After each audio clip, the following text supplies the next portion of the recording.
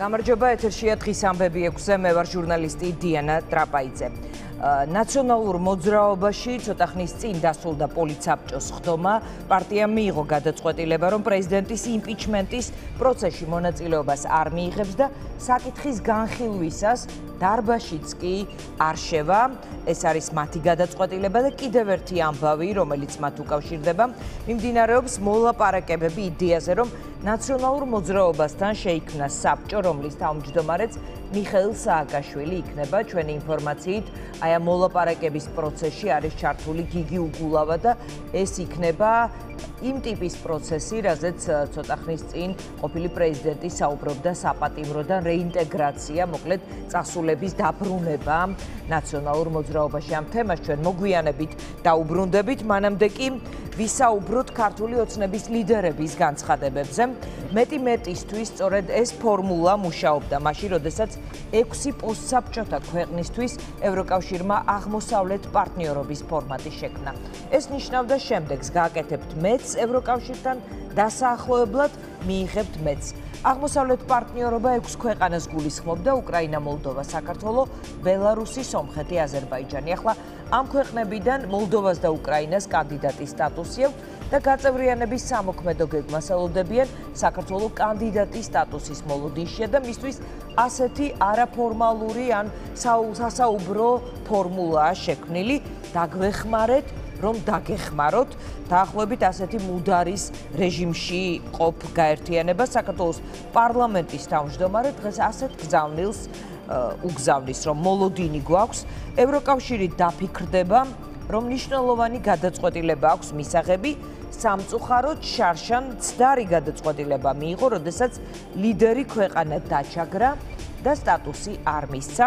ევროკავშირის ელჩი კი ამბობს, რომ დღეს განსაკუთრებით მოველით პროგრეს დეოლიგარქიზაციასთან, სასამართლო სისტემის რეფორმასა და მედიის თავისუფლებასთან დაკავშირებით. გაფართოების ანგარიშის გამოქვეყნებამდე დარჩენილია დაახლოებით 4 კვირა საბოლოო გადაწყვეტილების მიღებამდე კი 3 თვე ის, რასაც ჩვენ საქართველოსგან ველოდებით არის დაჩქარება და რაც შეიძლება მეტი პროგრესის მიღწევა. ეს არის ევროკავშირის ელჩი საქართველოსში და მისი განცხადება, თუმცა დღევანდელ განცხადებებს წინ უძღოდა ურსულა ფონ დერ ლაიენის მიმართვა, მის სიტყვაში იყო ასეთი ფორმულირება.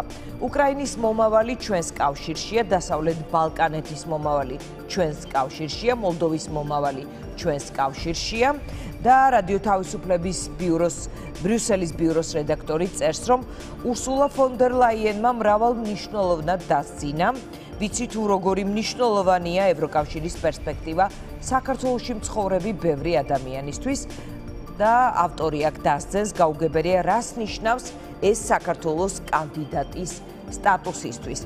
ურსულა ფონ დერ ლაიენს არ უხსენებია თუ რამდენ ქვეყანას მოიაზრებს ევროკავშირის მომავალში 33-ს, 35-ს თუ 37-ს. მთელი სიტყვის განმავლობაში 30 პლუს ახსენებდა. მას არც კონკრეტული თარიღები დაუსახელებია განსხვავებით ევროპული საბჭოს პრეზიდენტის შარლ მიშელისგან, რომელმაც რამდენიმე კვირის წინ თქვა, რომ 20-30-ისთვის უნდა იყოს ევროკავშირი გაფართოებისთვის მზად. მე მინდა ახლა შემოგთავაზოთ კომენტარები, რომელთაგან ერთი ბატონი მდინარაძის კომენტარი ეხება ღარიბაშვილის ტონით აღფრთოვანებას, რა ტონითაც ის ბატონ ბორელთან ევროკავშირის საგარეო კომისართან საუბრობდა. ასევე კალაძის განცხადება, რითაც ის ეხმაურება მის გუშინდელ განცხადებას, რა ტონითაც ის ნატოს მოიხსენიებდა ჩილატლანტიკურ ალიანსს და თუ ერთი ადგილი გაქვთ მიგვიღეთ. პაპუაშვილის კომენტარი, რომელიც საუბრობს, რომ მათემატიკის გაკვეთილები ისლამის ატარებდა შესრულებულ პუნქტებთან დაკავშირებით და კობახიძე, რომელიც თავის დროზე შევარდნაძის ნათქვამ ორ პირს ორ პირში გაციება იცის და ახლობით ამ დაგვარი რამ აქვს ნათქვამი ნატოსთან დაკავშირებით, აი კობახიძე როგორ ასრულებს თავის დროზე ამ ძალიან ფრთიან ფრაზას, მოდით მოვისმინოთ ოცნების ლიდერების ეს 4 განმარტება. როგორც იქნა ამ ქვეყნის ხელისუფალმა შეძლო ეს ხალხის სიტყვებია რაც მოვისმინე ამ დღეების განმავლობაში. რომ თანაბრად ელაპარაკო და როგორც ბატონს სახარების სიტყვებად რომ მოაქვთ. ეხლა თავ სახარებაში აღამაინც და მაინც მანჯგალაძეთ რომელნი იყო რა თქვა სახარებაში აღამაინც და მაინც სიტყვა ბატონს კითხულობს სხვა რაღაცები წაიკითხოს ბევრი რაღაცა. და შესაბამისად შესაბამისად ამისა დარბაში მოსულ ხალხს კი არ შევეკითხეთ.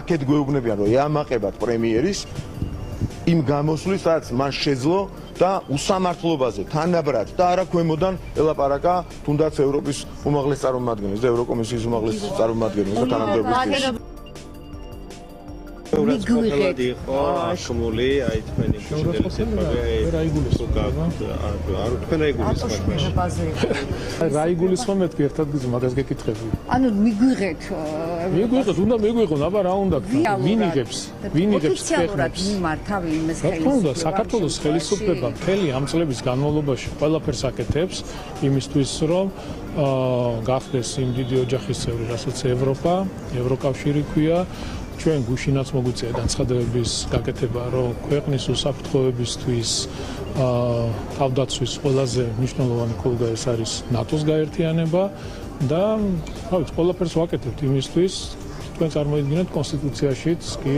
ჩაწერა საქართველოს ხელისუფლებამ ქართულმა ოცნებამ რომ ეს არის მნიშვნელოვანი. დაყოფა ხალხისა და სახელმწიფოსი ან ხელისუფლების. ერთ-ერთი სახელმწიფო არის ეს არის რუსეთი რომელიც ამას აკეთებს. ამაზე მეტი რუსული სტილის ასე ვთქვათ მიდგომა არ არსებობს რაც რამდენიმე ევროპარლამენტარის ჩვევია ასეთი სახის პუტინისტური ნარატივის გავრცელება რომ ხალხი განაცერკავა ხელისუფლებამ ჩვენი შეფასებით ჩვენ თითქმის ბოლოში ვარ გასული გითხარით საკითხები სასამართლოს და დეოლიგარქიზაციის სახით რომელიც საბოლოო საბოლოოდ უყურეთ თქვენ თუ გაინტერესებთ მათემატიკა შეგიძლიათ მათემატიკის მეული გადაშალოთ და მიუმატოთ ერთად. ჩვენ გვაინტერესებს, ჩვენ გვაინტერესებს ევროკავშირთან ინტეგრაცია, თქვენ გაინტერესებთ მათემატიკა. კი ბატონო, დაკავდით. მნიშვნელოვანია რომ ევროკავშირმა გააცნობიეროს კიდევ ერთხელ თუ რა რა საომავლო გეგმები აქვს მას საქართველოსთან დაკავშირებით და აქედან გამომდინარე მიიღოს ამ ჯერზე მაინც სწორი პოლიტიკური გადაწყვეტილება. ხია გარშე ყოფნა ერთ-ერთი წინა პრეზიდენტი საუბრობდა ამაზე ხო? აა და ორბირ გარშე გარშე ყოფნა არის ძალიან საშიში. და მე იმედი მაქვს, რომ ეს ამ მდგომარეობაში ქვეყნის დიდხანს დატოვება არ არის ვიღაცის მიზანი.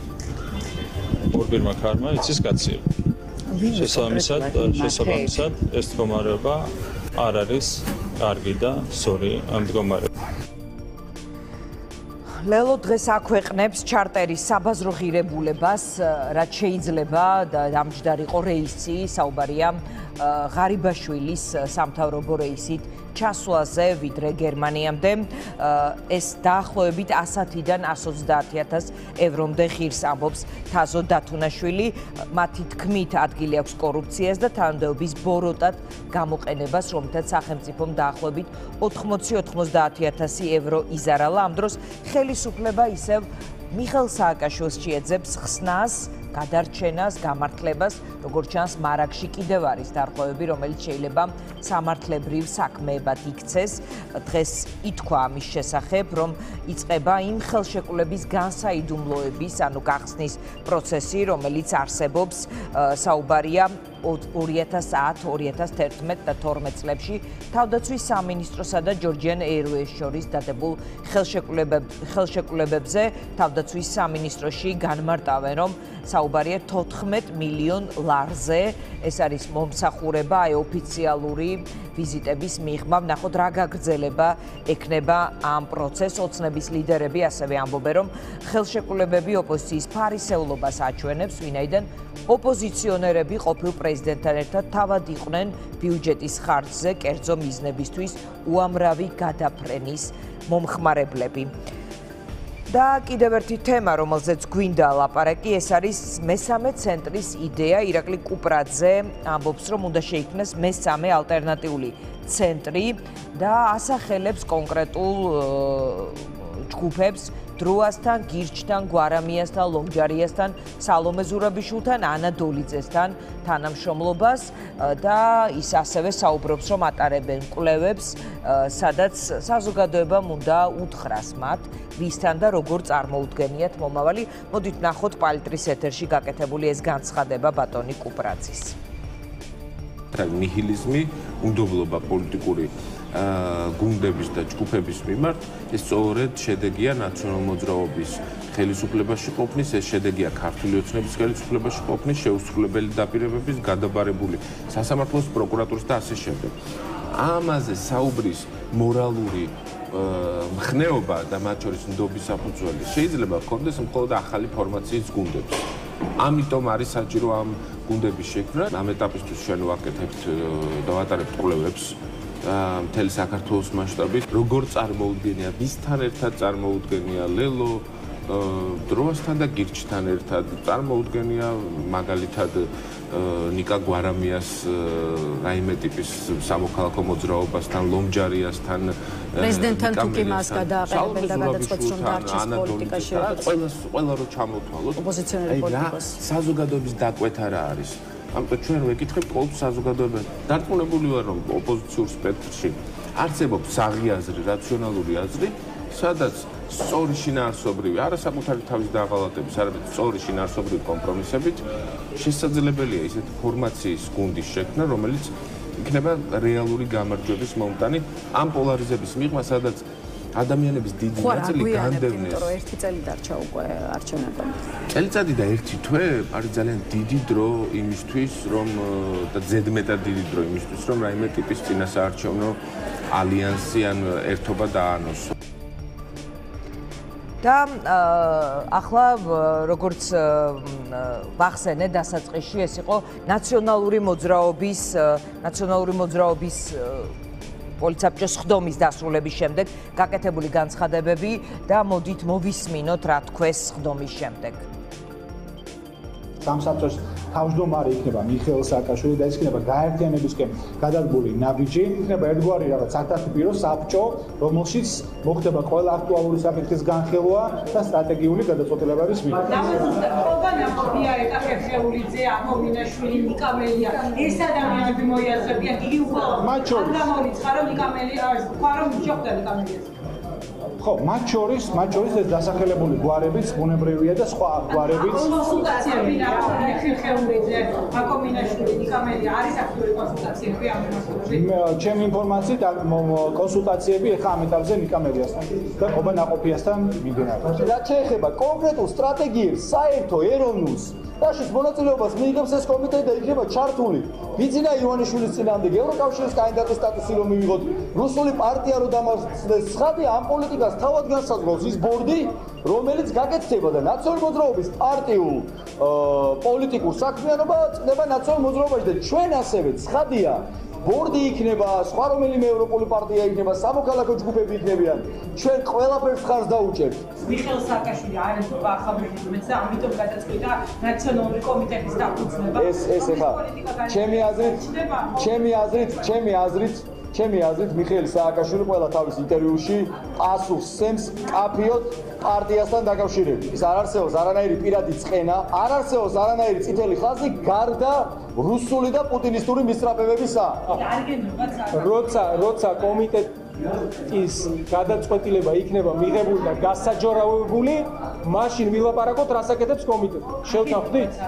ამიტომ ყველა ყველას ენდობა, ყველა ერთად მუშაობ ბიძინა ივანიშვილის დასამარცხებლად. არაფორმალური მართველი ჩვენ ერთი ყავს, რომელიც არის ბიძინა ივანიშვილი. რომელიც თავისი მარიონეტების მეშვეობით მართავს ქვეყანას და თვითონ ბიძინა ივანიშვილი არის კრემლის მარიონეტი, რომელიც პუტინისგან და მოსკოვიდან იმართება. ჩვენ ვიწყებთ საუბარს ჩვენ სტუმრებთან. პირველ რიგში ვიტყვი რომ ერთი თემა ეს იყო კუპრაძის მიერ საუბარი მესამე ცენტრის შექმნაზე და ნაციონალური მოძრაობა რაღაც პარტიულ ბორდს ქმნის ჩვენი სტუმარი პაატა არ არის ნაციონალური მოძრაობის წევრი, სტრატეგია აღმაშენებელს წარმოადგენს, მაგრამ ეს არის ერთი პლატფორმა და არის პლატფორმა, არის ნაციონალური მოძრაობა კიდევ რა ბორდზე და საბჭოზეა. ლაპარაკი ამ ყველაფერს დავაზუსტებ თქვენთან ერთად. მოგესალმები, ძალიან დიდი მადლობა რომ ხართ ჩვენი სტუმრები. პირველ რიგში ლანას ვკითხავ, ის რაზეც ირაკლი საუბრობდა, ეს არის რაღაც ტიპის უკვე გამოიკვეთა ადამიანები, რომელთა სათანამშრომლოდაც მზადყოფნა აქვს. ლელოს თუ ეს უბრალოდ იყო სავარაუდო სია ირაკლის მხრიდან ჩამოსა ეს თქო ჩამ დასახელებული. მისთვის დღეს ირაკლიმ დაასახელა იმ ადამიანების ჩამონათვალი, რომლებსაც პოტენციურად ჩვენ განვიხილავთ ყოველთვის მოკავშირეებად, პატივს ვცემთ ამ ხალხს, შეგვიძლია მართთან თანამშრომლობა, ჯერჯერობით ვერ გეტყვით სერიოზული პლატფორმა მათთან ერთად შექმნაზე საუბარი იყო თუ არ იყო, ჩვენი პარტია ძლიერდება ინდივიდუალურად და მათ ხდება სხვა პირების შემოდინება პარტიაში, ეს იქნება ექსპერტები, სხვადასხვა სფეროს წარმომადგენლები, მაგრამ თუ დაჭირდა სიტუაციას იმისათვის რომ შეიქმნას ალტერნატიული პოლიტიკური ცენტრი, ნინო ლომჯარიას კანდიდატურა, ანა დოლიძის კანდიდატურა, პრეზიდენტის კანდიდატურა. პრეზიდენტის კანდიდატურა. იცით რომ პრეზიდენტს სურს რაიმე პოლიტიკურ ცხოვრებაში აქტიური მონაწილეობა და ლელოს ლელოსთან თავის ვერ გეტყვით რა სურს და ვისთან პარტნიორობა პრეზიდენტს, მაგრამ მან ბოლო პერიოდის განმავლობაში მთელი მისი პოლიტიკური კარიერა კაპიტალი ჩადო იმაში, რომ საქართველოს მიიყვანოს ევროკავშირის წევრობის კანდიდატის სტატუსამდე და გააკეთოს ყველაფერი იმისათვის, რომ ჩვენი ქვეყნის ეროვნული ინტერესი ახსოვდეს. შესაბამისად, ასეთი კანდიდატის სტატუსამდე მიყვანა და ლელოსთან აფილირება ესეთი თუ ასეთი თანამშრომლობა, თუ ასეთი თანამშრომლობის კონტურები გამოიკვეთა, ცხადია, ეს ადამიანი ჩვენთვის მისაღები კანდიდატურა არის, რასაც ვერ ვიტყვით იმ პარტიებზე, რომელსაც პირდაპირ ჩვენი ელექტორატი ვინც არის, ისინიც კი ვერ ვხედავენ ჩვენ ისეთ პოლიტიკურ პარტიებთან, რომელიც არის ერთიანი ნაციონალური მოძრაობა და ქართული ოცნება. ანუ არც ნაციონალური მოძრაობა თავისი 9 წლის შლეიფით, არც დღევანდელი ხელისუფლება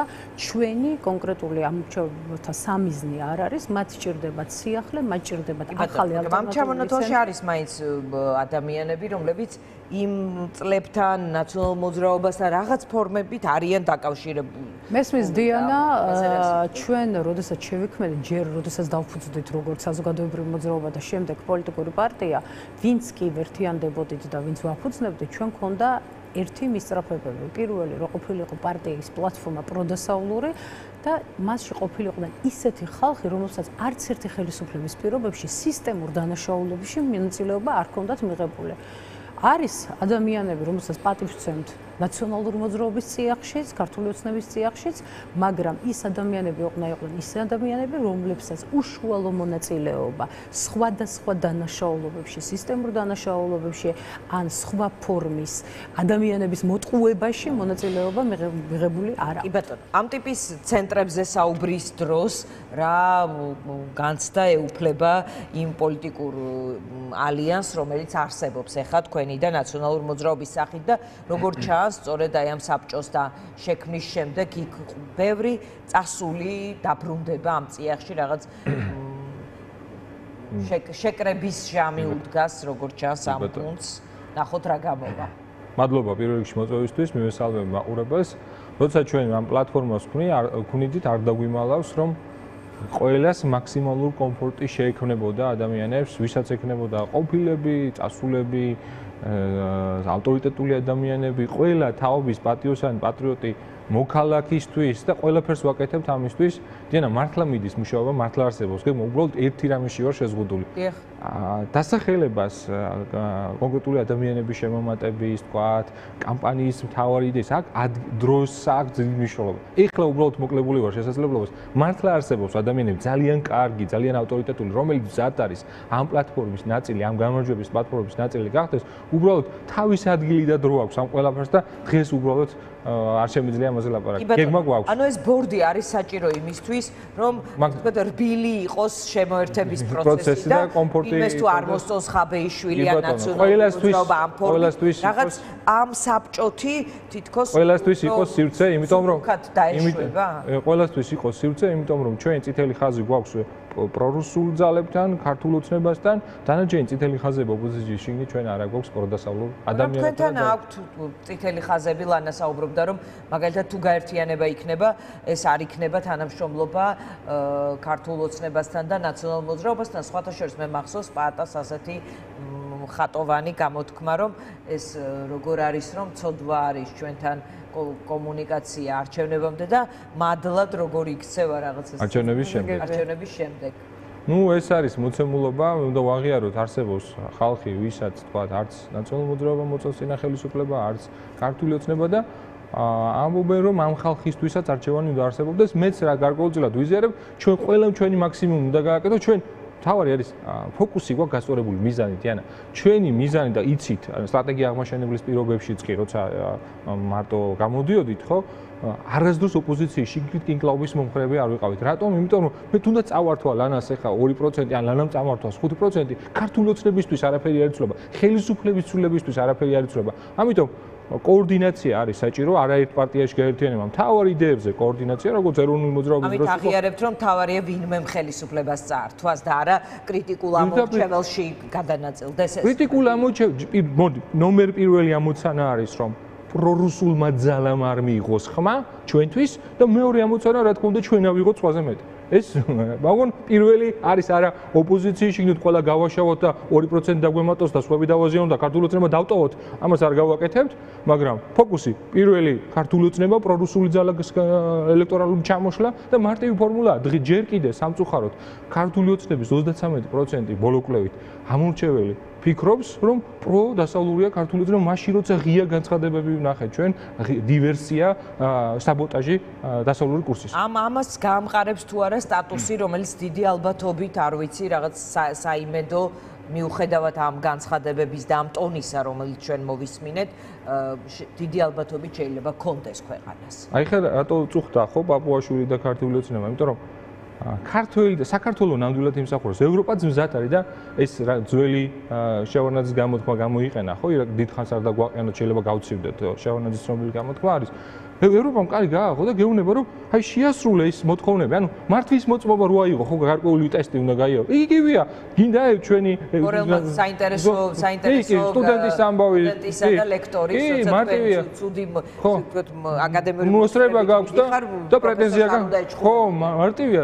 დიან უნდა ვთქვათ რომ თუ მოხდა რომ არ იქნება არ იქნება თქვა არ იქნება კანდიდატის სტატუსი იქნება ხელისუფლების ბრალი რომ მოახდინეს საბოტაჟი. თუ მოგწეს ეს იქნება გაფართოების პოლიტიკის შედეგი რომ ქართული ხალხი იმსახურებს ამ ყველაფერს. ეს ცხადია ეს არის ცალსახად ესეა.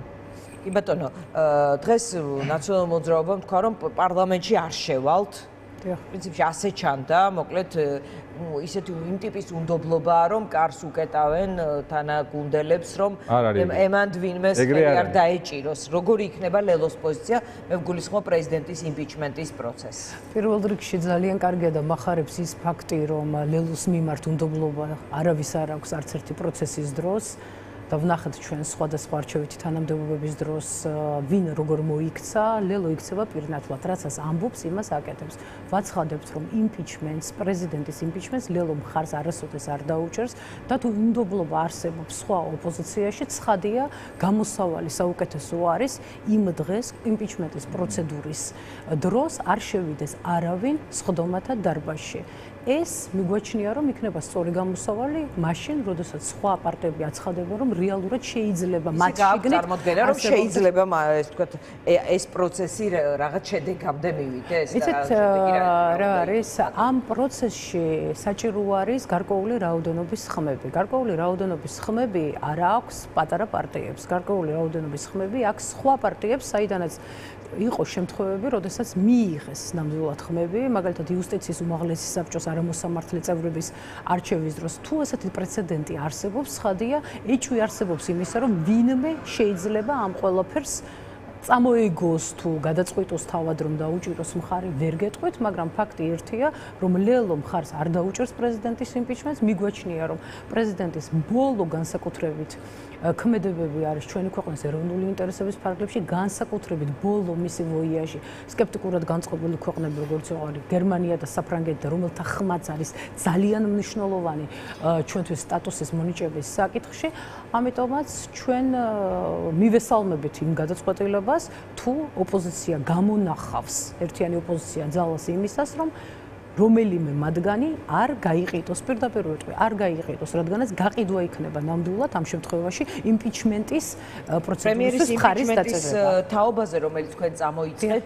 აი რა სამართლებრივად გაქვთ თუ არა რაღაც ფაქტები მოძიებული პროცესი არის თუ არა ხორჩესხმული ეს ხომ რაღაც ეპირი განცხადება არ უნდა იყოს მხოლოდ და ჩვენ თქვენ ნახეთ ასევე კოლეგების მხრიდან გამოხმაურება მაგალითად გახარიას გუნდიდან, რომ პრეზიდენტის იმპიჩმენტზე საუბრობდა ბორელი, რომ ეს არის ვთქვათ დეპოლარიზაცია, ანუ ანუ სტატუსის მიღების პროცესი არ წადგება და პრემიერის იმპიჩმენტით შეიძლება განხილული იყოს, რომ ეხლა ეხლა ამის დრო არ არის.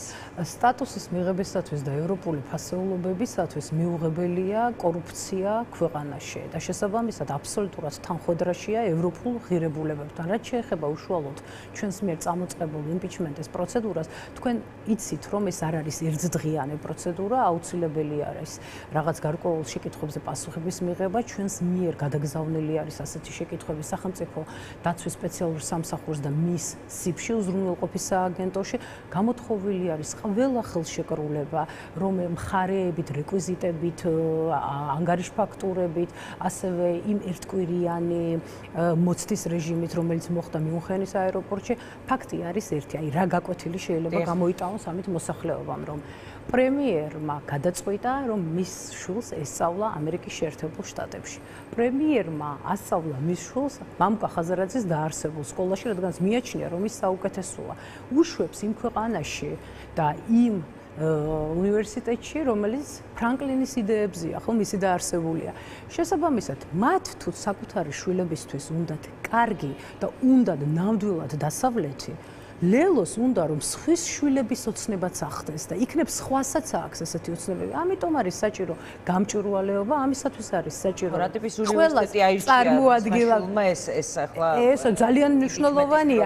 არა, არა, ძალიან მნიშვნელოვანია, როდესაც იცით რა არის, როდესაც მოსახლეობა უყურებს და მოსახლეობას ყოველდღიურად ნარატივი, სამთავრობო ნარატივი მიდის იმისაკენ, რომ მაგერ რუსეთში დაუშვათ ფრენები აღდგა, რუსეთში სწავლის მიმართულებები გაიხსნა და ამ დროს რაღაც საწინააღმდეგოს აკეთებენ თვითონ ეგ სხვა საკითხია, მაგრამ რაც შეეხება პროფესიულ შეკითხვებს, რა მიმართულებით შეიძლება საქმე წავიდეს, ეს იქნება კორუფციული მიმართულება, ეს იქნება შემოსავლების უკანონო შემოსავლები, უკანონო ფული, მაგრამ ამაზე კიდევ უარეს საკეთებენ. ბოლო დღეების განმავლობაში ის ტროლები, მეგობრები იქნებიან თუ სამთავრობო სტრატკომების წარმომადგენლები, როდესაც ურთიერთ და ერთმანეთის გამომრიცხავ განცხადებებს დებენ და ბატონო, როგორც ვიხდი პროცესი თვითონ იხლაფენ, მაგრამ ამ ეტაპზე მინდა გითხრათ, რომ კონსულტაცია კონსულტაციები მიმდინარეობს ოპოზიციის წარმომადგენლებთან. ოპოზიცია ჩივის რომ ისე გამოაცხადეთ რომ წინსწრებად არ იყო კონსულტაციები. ყველაფერში არ შეიძლება წინასწარ თქვა კონსულტაციები, თუ პარტიებს თავისი გეგმებიც გააჩნიათ და ამის გარდა ჩვენ უკვე გაგზავნილი გვაქვს უამრავი შეკითხვა, ჩვენ ნაწილი შეკითხვებისა გამოვაქვეყნეთ კიდეც, რა შეკითხვები გაიგზავნა და ველოდებით პასუხს. რა თქმა უნდა, თუ კლავ არ დააგვიანებენ და კლავ გადასამართება. შეგიძლიათ არ საერთოდ არ კითხოთ სხვებს, მაგრამ როცა სხვების ხმები სჭირდება პროცესს ეს ეს ალბათ სხვა ტიპის კომუნიკაციის პროცედურას გულისხმობს. პატა, თქვენ ამ ორი იმპიჩმენტის თაობაზე როგორია თქვენი პოზიცია? მოდი შესვლით დავიწყებთ ის საინტერესო საკითხია. თქვენც არ შეხვალთ? არ არენდობი? არა, დობა. არასწორად არის ეს საკითხი, დასმული დობა ან დობაზე არ არის. ეხლა ვინც ოპოზიციის მხარეს ზის ფლიგელში პარლამენტის იმას არნიშნავს, რომ ყველა ოპოზიცია, მე ყველაზე თავს ვერ დავდე. ამიტომ ძალიან მარტივი საკითხია და ხშირად საბეჭდილება მრჩება როგორი, როცა უყურებ ამ პოლიტიკურ პროცესს, გონია რომ რაღაცა აი მაფიოზობის თამაში როა, მაფიოზი ვითომ კაპატიოსთან მოქალაქე როა და სხვას რო აბრალებს, რომ მაფიოზია. დაახლოებით ესეთი სიტუაციაა და მოდი არ შევალ ჩვენ და თვითონ გადაწყვიტოს ახლა ამ ეგრესოდებულმა გარიგებაში ყოფა ხალხმა უღირს თუ არა ლუსტრაცია. ჩვენ არ შევალთ, ეს ძალიან კარგია, რო არ შევალთ. არა, იმიტომ რომ ჩვენ ერთმანეთს არ ვენდობით, არა, მათ არ ვენდობით, სხვებს არ ვენდობით, ვინც იმ ხარეს ზის. ამიტომ ჩვენ არ შევალთ, შესაძლებლად გამოჩნდება ყველაფერი ვინ და როგორი თანამშრომლა ხელისუფლებასთან. რაც შეეხება რაც შეეხება იმპიჩმენტის პრემიერის იმპიჩმენტის საკითხს, რომელიც გამოიწყო ლელომ გამოაცხადა ყოველ შემთხვევაში. კი ბატონო. ეხლა მე ვევრი მოვისმენი ამ საკითხზე რომ მე ღარიბაშვილზე უარესი მოვა ან ისეთი მოვა პირდაპირ თქვა კანონი დაირღვა გვაქვს კონკრეტული მტკიცებულება რა თქმა უნდა სამართლებრივი მექანიზმები უნდა ავამუშავოთ ჩვენ. მაგრამ რა წმინდა პრაგმატულად თუ შევხედავ პირადად ჩემი აზრია ყავდეს ღარიბაშვილი რატომ? იმიტომ რომ დისკრეტირებულია ბოლომდე არავის კითხვის ნიშანი არ აქვს ანუ იმპიჩმენტს ხარს არ დაუჭერ. არა უჭერ რა თქმა უნდა უჭერ კაცო ხარს იმპიჩმენტს მაგრამ ნუ არაბათ რეალისტური არა თუნდაც რომ გავიდეთ ბოლოში მაგაშიც არ არის პრობლემა. სისხლის სამართლებრივი პასუხისმგებლობა დადგეს და დაიჭირონ თუ დაიჭირონ გახვალთ მაშინ ქართულ მოოცნებამ უნდა უარყოს და ეხლა და ერთი თქვი სამართლებრივი და კონსტიტუციის წინაშე ვალდებულებიდან გამომდინარე ვამბობ რომ კარგია და უნდა მივყვეთ პროცედურას, იმიტომ კონსტიტუცია ყველაზე მაღლა დგას, მაგრამ წმინდა პრაგმატულად თუ თუ მეტყვის ვინმე რომ ღარიბაშვილი იყოს მიჩევნია და ერთს ვიტყვი. აი ეს არის განსხვავება ევროპასა და ამ პოსტსაბჭოთა ან რუსულ სისტემას შორის, ხო? იქ თავად გუნდს არ მოუნდებოდა დისკრეტირებული პრემიერ-მინისტრის ყოლა გუნდში, მაგრამ აქ როგორ არის ხალხი ხوار წყვეტს, ხوار იღებს გადაწყვეტილებას, აქ იღებს ბიძინა ივანიშვილი. ბიძინა ივანიშვილს მოუნდება უფრო დისკრეტირებული ადამიანი, რატომ? უფრო მეტად მარტავს, რაც უფრო კომპრომატირებული ადამიანი, მთელი სისტემაა დიანა. მაგრამ ეს ხომ ეს ხომ ასევე დამოკიდებულია ასევე ივანიშვილისთვის ხომ ფაქტორია საზოგადოების განწყობა როგორ იქნება საზოგადოების აზრი როგორ იქნება იმიტომ რომ ართულიან საზოგადოებას იმ პრემიერმა საზოგადოებას ართულიან ხმები უნდა არა ართულიან ფაქტორ დიანა ფაქტორად ართულიან საზოგადოებას მაგრამ ხმები უნდა მიიღონ ამ ხალხისთვის. 23 წელს ართულიანმა რომ 24 წელს და ისინი ფიქრობენ რომ ხალხი თავარი არის ფული დააგროვონ ეხლა დაწყებულია ამ ფული შეგროვება და მე ადამიანები 50 ლარად გაყიდიან ხმას. ესეთი მოლოდინი აქვს და ჩვენ ამის უფლება მათ რა თქმა უნდა არ უნდა მიწოთ და სისტემაზე ვიტყვი როცა კორუფციაზე ვლაპარაკობ არ არის არ არის მე მგონი მთლად ზუსტი რომ ამ მომჩეველს ასე ასე შეხედოთ. მე არა მე არა ქართული ოცნება უყურებს ამ მომრჩეველს ჩვენ ესე არ უყურებთ ამ მომრჩეველს მაგიტო დავიწყეთ რაიონების კამპანია დიანა რომ ადამიანებს პირადად ველაპარაკოთ და მათი სატკივარი გახდეთ ჩვენი პოლიტიკის ნაწილი. ხალხის გარეშე არანაირი პოლიტიკა არ არსებობს მაგრამ ქართული ოცნებას მიაჩნია რომ ხელისუფლების წყარო ხალხი კი არა არის ბიძინა ივანიშვილი. შესაბამისად ბიძინას რაც უნდა ეხლა რა სისტემა არის აწყობილი მოკლედ ვიტყვი აი ეს კორუფციული რუსული სისტემა რაც ნიშნავს რომ ყველა ვიპარავთ შესაძლებლობის და თანამდებობის პარაგლებში და რატო ხელისუფალს უჩდება განცდა რომ ეს ჩემთვის არ იბძოლებს ჩემი ბიძინა ივანიშვილისთვის არ იბძოლებენ მაგრამ თუ მოსაპარი აქვს თუ ხალხის ძარცვის უფლება აქვს და ექსკლუზივი აქვს ამაზე ამ უფლების შენარჩუნებისთვის იბძოლებს ყველა იბძვის თავის უფლების მოპარვის უფლების შენარჩუნებისთვის შესაბამისად ივანიშვილი კარგად და არხეინად არის აი ეს არის სისტემა და ეს უნდა ამის დემონტაჟი უნდა მოახდინო. ჩვენ და ევროპაში ეს სისტემა ხო ვერ იქნება. რუსეთში იცხოვრებს იცოცხლებს კარგად. მადლობა მადლობა და პრეზიდენტმა პარლამენტს ეროვნული ბანკის საბჭოს წევრის ორ ვაკანტურ თანამდებობას ფონდაზე ნანა ყეინიშვილის და თეიმურას ხომერიკის კანდიდატურები წარუდგინა. ცოტა ხნის წინ გავრცელდა ეს ინფორმაცია, ალბათ ამას შემდეგ საპარლამენტო ჯგუფები გამოეხმაურებიან. დიდი მადლობა ლანას და პაატას რეკლამის შემდეგ დავბრუნდებით.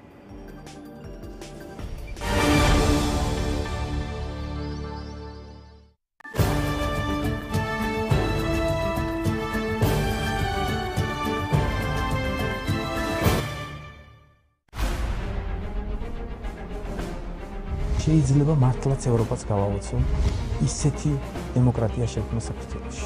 გაოცეს და არა მხოლოდ ევროპა. თუ გაქვთ რაიმეს თავი და ერთი ადგილი, მიიღეთ ჩვენი ქვეყანა და გახადეთ ნატოს წევრი. ევროპარლამენტის რეზოლუციას აქვს ჩვენთვის რა თქმა უნდა ჩალის ფასი. ჩვენ ახლა ისე უწარმოაჩენთ, რომ რაღაცას მათქორობ და ვეხოცებით ვინმეს. ჩვენ არაფერს არ ვითხოვთ. კანდიდატის სტატუსი არის სიმბოლური, თითქოს რაღაც სასწაული ხდება და სასწაულს კარგავს ქვეყანა. რა შევუკვეთეთ და რა ჩამოვიდა? ჩვენ 50 ლარი უნდა ვიარსებოთ? 50 მაქვს სოციალური. სწავლებში არ ყოფნის ჩემ პენსიის ფული და დანარჩენი რა გავაკეთო? ყველაფერს აკეთებენ თავიანთ. გლეხ ხალხის ვინ არა ვიცი, არც ამოსულა ჩვენი მზე და არც ამოვა. ხორება ჩვენთან, რა მგონია? მე ვწვალობ მაგალითად. რეაქციაში დღეს ნამდვილი საქართველო და უცნების გლამურული საქართველო.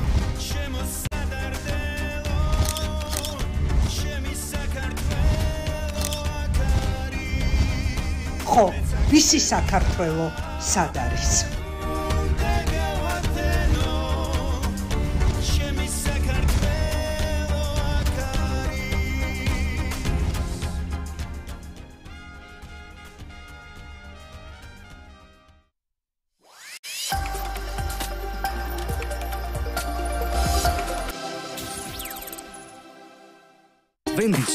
ყველასგან განსხვავებული კარტოფილი ფრი გვაქვს. არ არის დამატებით გადამუშავებული. არ შეიცავს კონსერვანტებს და დაჭრილია უმაღლესი ხარისხის კარტოფილისგან. ყოველთვის უფრო ხრაშუნა, უფრო გემრიელი, უფრო დიდი და მეტი პორციებით. ვენდის ყველაზე გემრიელი კარტოფილი ფრი.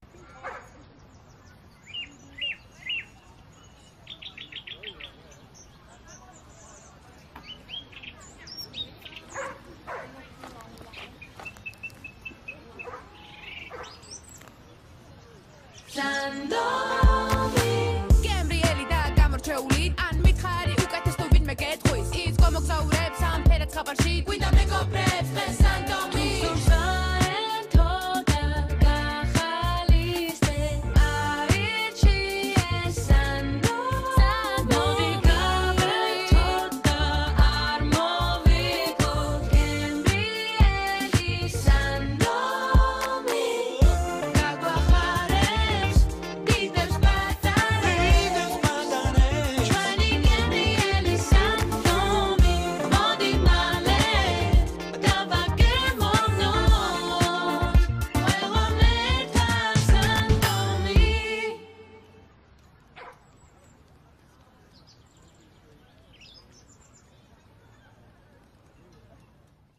ონლაინ თამაშის მოგებას მხოლოდ სპეციალური მახასიათებლების ინტერნეტი გაშორებს, Silknet-ის ოპტიკური ინტერნეტის ახალი პაკეტი Gamer-ი შენთვისაა. დაიმატე პაკეტი თვეში მხოლოდ 10 ლარად. მიიღე სტაბილური ხარისხის პარამეტრები და ითამაშე ონლაინ შეფერხების გარეშე. პაკეტის გასააქტიურებლად დარეკე 032 200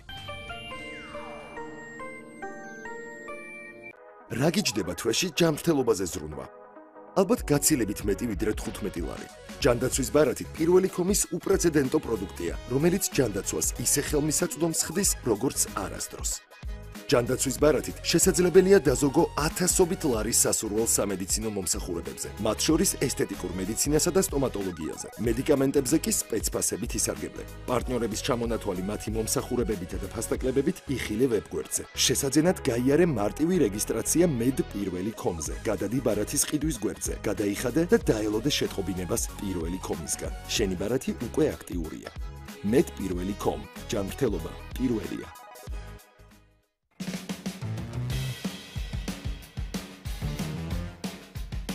შემოდი ჩვენს ონლაინ მაღაზიაში. იპოვე საშენო პროდუქტი. გადაიხადე ნებისმიერი ბანკის ბარათით ან გადაანაწილე 6 თვეზე უპროცენტოდ. ისარგებლე უფასო საკურიერო მომსახურებით მთელი საქართველოს მასშტაბით. თბილისში კი შენაძენს მაქსიმუმ 3 საათში მოგიდამთ. გაიარე რეგისტრაცია და მიიღე 500 მონეტა. დაგროვებულ მონეტებს კი ვაუჩერების გვერდზე სასურველი ფასტაკლების ვაუჩერებში ცვლი. დაიწყე შოპინგი ახლავე. პირველი კომ. მიიღე მეტი ცხოვრებისგან. მანქანის ყოლასთან უამრავი ხარჯი ახლავს.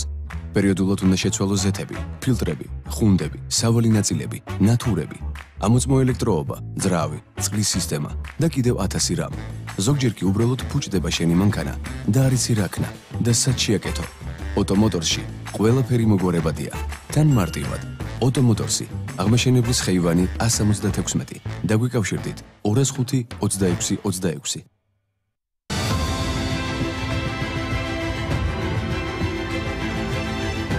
ის რა ტექნოლოგიის გამოცვა გზავნით გერმანიაში არის უკვე კლინიკა პირველში.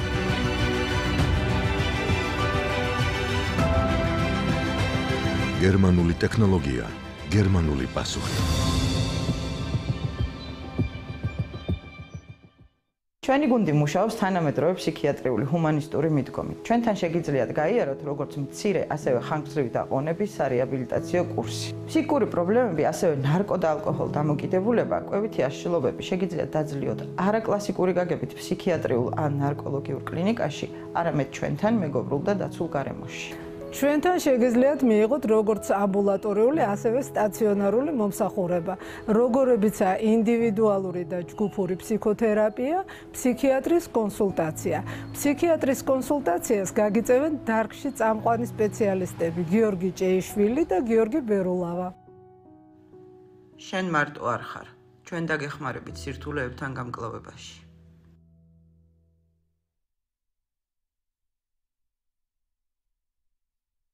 საქართველოს მთებში ყველაფერი სრულყოფილია. მაპატი ლამაზო, ამ სრულყოფილებაში შენ ერთზე უთუოდ მოიაზრება. სანტინოს რძე იქმნება იქ, სადაც მეფობს ბუნება. სწორედ ამიტომ ინარჩუნებს მთის ყველა სიკეთეს და ეს სრულყოფილება იგრძნობა მის თვითოეულ წვეთში. სანტინო შექმნილია საქართველოს ბუნების მიერ. გაიცანით პრემიუმ ხარისხის ელექტროავტომობილი Skywell-ი. იყიდება ოფიციალური ქარხნული გარანტიით. ჩაეწერეთ ტესტ დრაივზე 032 255 სენავტო უპირატესობა ხარისხშია. ფარმადებოში წინა სასკოლო აქციები გელოდებათ. ისარგებლეთ 50%-მდე ფასდაგლებით საბავშვო პროდუქციაზე სასკოლო ნივთებზე ვიტამინებსა და მინერალებზე. ფარმადებო სანდო აფთიაქი 1983 წლიდან დღემდე ყოველთვის ოქროსფერი, ყოველთვის ხრაშუნა, ყოველთვის გემრიელი 40 წელი ჩიკენ მაგნაგეტსთან ერთად შექმნილია გაზიარებისთვის.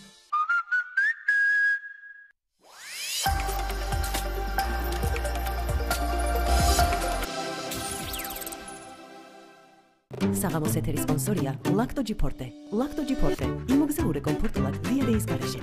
გამოგონების წეს გაიცანით ინსტრუქციას კოდით მოვლენების შესახებ დეტალური ინფორმაციის მისაღებად მიმართეთ ექიმს.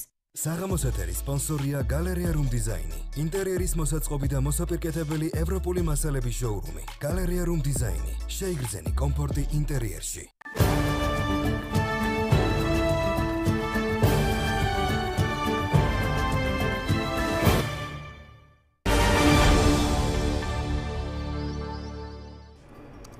ჩვენ დავბრუნდით პირდაპირ ეთერში. ჩვენი სტუმარია ირაკლი პავლენიშვილის ნაციონალურ მოძრაობას წარმოადგენს. ირაკლი მოგესალმებით. დღეს გავიგეთ ასეთი რამ რომ ნაციონალურ მოძრაობასთან მოძრაობაში თუ თან ამას თქვენთან ერთად დავაზუსტებ იქნება ეს არის ნაციონალური კომიტეტი. ამ იდეის ავტორია სააკაშვილი როგორც ვიცით, გიგი უგულავა არის ერთ-ერთი მთავარი ფიგურა, რომელიც ცდილობს ახლა სააკაშვილი საპატიმროშია და თავად ველზე ვთქვათ შეკრიბოს ეს ადამიანები და მენეჯმენტი და ეს კომიტეტი იქნება პარტიის გარეთ, მაგრამ პარტიაც იქნება, პარტიის მენეჯმენტიც იქნება ამ კომიტეტში და ჩვენი ინფორმაციით ასევე თავმჯდომარე იქნება მიხელ სააკაშვილი. რა იცით თქვენ რა შეგიძლიათ გითხრათ ამ ტიპის კომიტეტის შესახებ? Ну რა თქმა უნდა ამ კომიტეტის შესახებ მაქვს ინფორმაცია თუმცა თავარი რაც ხდება გასაგებად რომ აღვსოთ მაყურებლისთვის მიხეილ სააკაშვილი არის ძალიან აქტიურად ჩართული პოლიტიკურ პროცესში.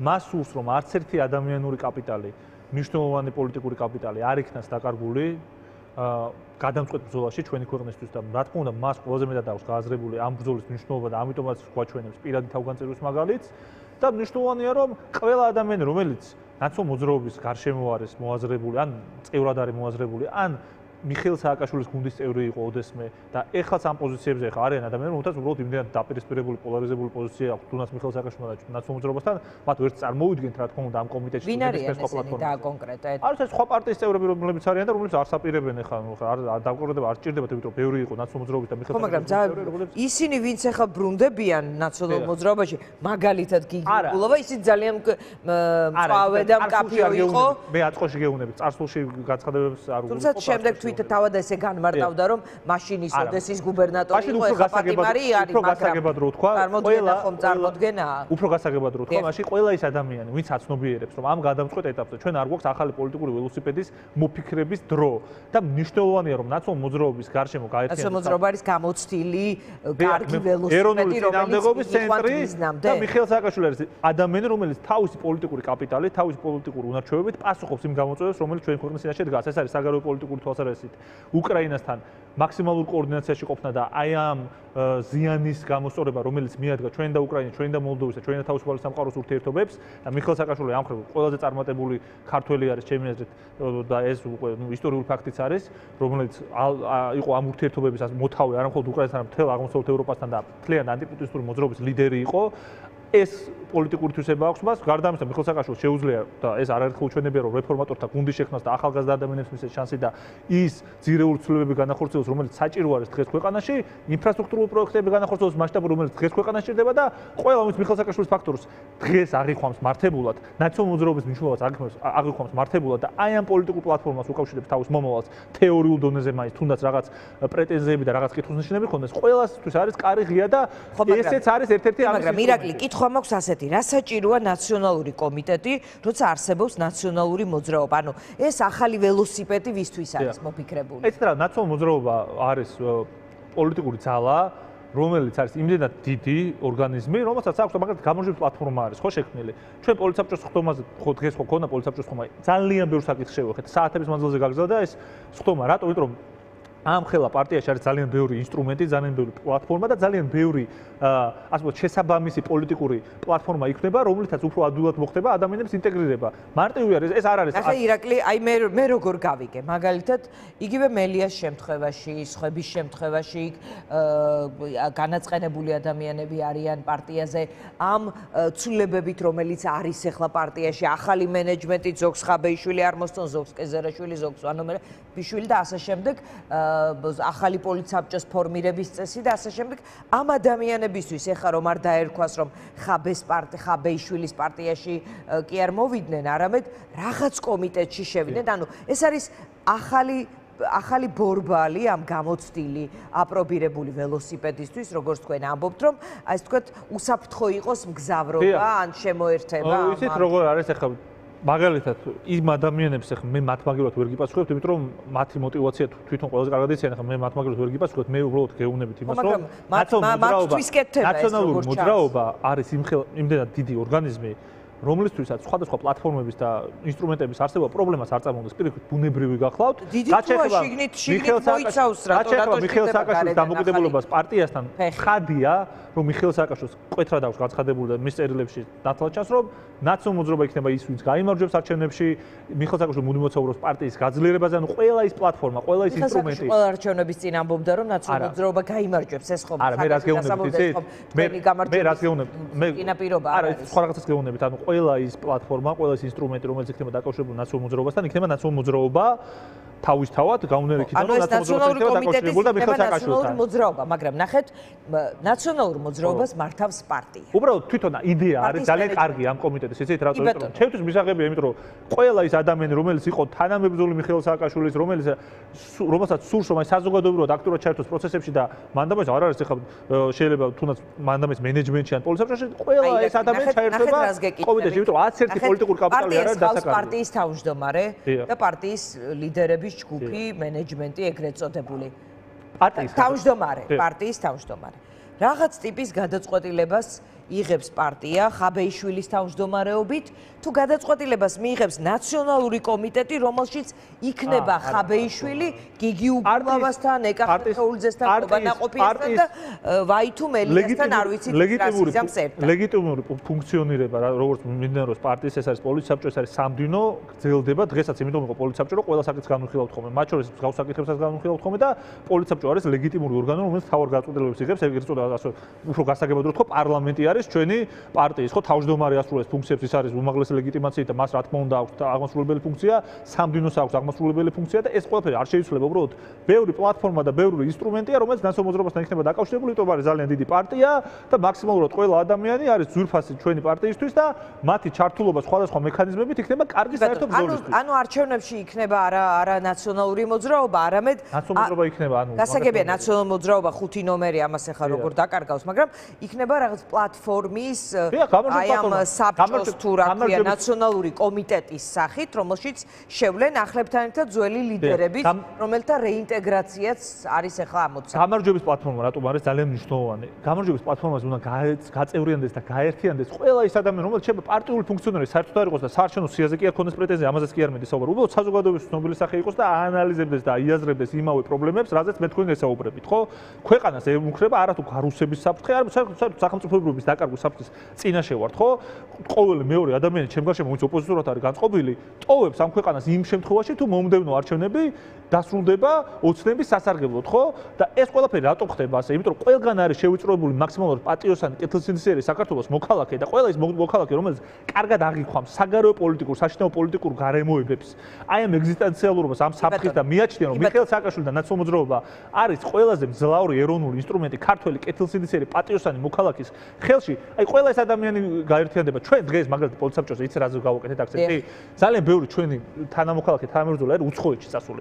მათაც უნდა ქონდეთ ელექტრო ჩვენ მუშაობთ ისეთ მათ შორის ოპოზიციურ პარტიებთან სხვადასხვა კონსულტაციები, ისეთ ინსტრუმენტებს, რომელთაც ამ ადამიანს მაქსიმალური ჩართულობა ექნება არჩევნებში უზრუნველყოფილი. ეხლა მე ველაპარაკებოდი მაგალითად მარტო მაგალითად რო გითხრათ, მიშა ჩომახაშვილი, ესეთ ნაცო მოძრობის მომხრე, რომელსაც უბრალოდ აიძულეს, რომ დაეტოვებინა ქვეყანა და უყადაღეს ქონება, აბსოლუტურად დევნეს ყველანაირად პოლიტიკურად და ეხლა მისეს საფრანგეთში მისეს პოლიტიკური დევნილი სტატუსი. ესეთი ადამიანები უნდა დაბრუნდნენ ქვეყანაში და მათ შორის მიხეილ სააკაშვილის იდეა, რომ როცა ის მუდმივად ლობირებდა ამ იდეას, რომ ყველა კეთილსინდისერი პატრიოტანი მოქალაქე, რომელმაც რუსულ რომელსაც რუსულმა სისტემა ფაქტობრივად აიძულა თავისი კორუფციით და კრიმინალით, რომ დაეტოვებინა ქვეყანა, ეს ადამიანებიც უნდა დაუბრუნდეთ. ანუ ჩვენ გვაქვს ძალიან ფართომასშტაბიანი გეგმები და ესეთ წვრილმან კინკლაუბებზე თავს უნდა მალე დავანებოთ თავი. მიხელ სააკაშვილის საფისკენ მოგვიწოდებს ახლა. როგორ წარმოგიდგენიათ რომ ირაკლი, მთელი ყენებზე გადავაყოლოთ ასეთ მასშტაბებში. რომ სააკაშვილი არის ინსტრუმენტი, სააკაშვილი პირადი გამბედაობის და თავგანწირვის მაგალითი იძლევა და ასე შემდეგ. მთელი წინა წელი ნაციონალურმა მოძრაობამ გაატარა იმაზე საუბარში ადვოკატებთან, ექიმებთან, სააკაშვილთან დაკავშირებულ ადამიანებთან ერთად, რომ ის არის მძიმე დავად, რომ ის არის მძიმე მეტალებით მოწამლული, ვერ დადის, ვერ ლაპარაკობს პოლიტიკაში ყოფნის თავიც არ აქვს და პოლიტიკური ამოცანებს რომ მიყვეს ამის თავიც არ აქვს. მეტიც მე არ მინდა, მაგრამ რახან თქვენ საუბრობდით ყველანი ამ თემაზე მის დიაგ საუბრობდით რომ არის დემენციით დაავადებული უმძიმესი დიაგნოზი აქვს. ეს ყველაფერი ახლა განზე გადაიწია, ამან არ იმუშავა და ახლა უკვე რაღაც პოლიტიკური ბრძოლის და შემართების ლიდერად არის წარმოჩენილი. ანუ ფიქრობ თუ არა რომ აუდიტორიას მეტი განმარტება უნდა გაუკეთოთ ამ კონკრეტულ ამასთან დაკავშირებით. ჩვენ არ ვართ ექიმები, რომლებიც დასკვნებს აკეთებდნენ და ეხლა შეცვალეს ეს დასკვნა.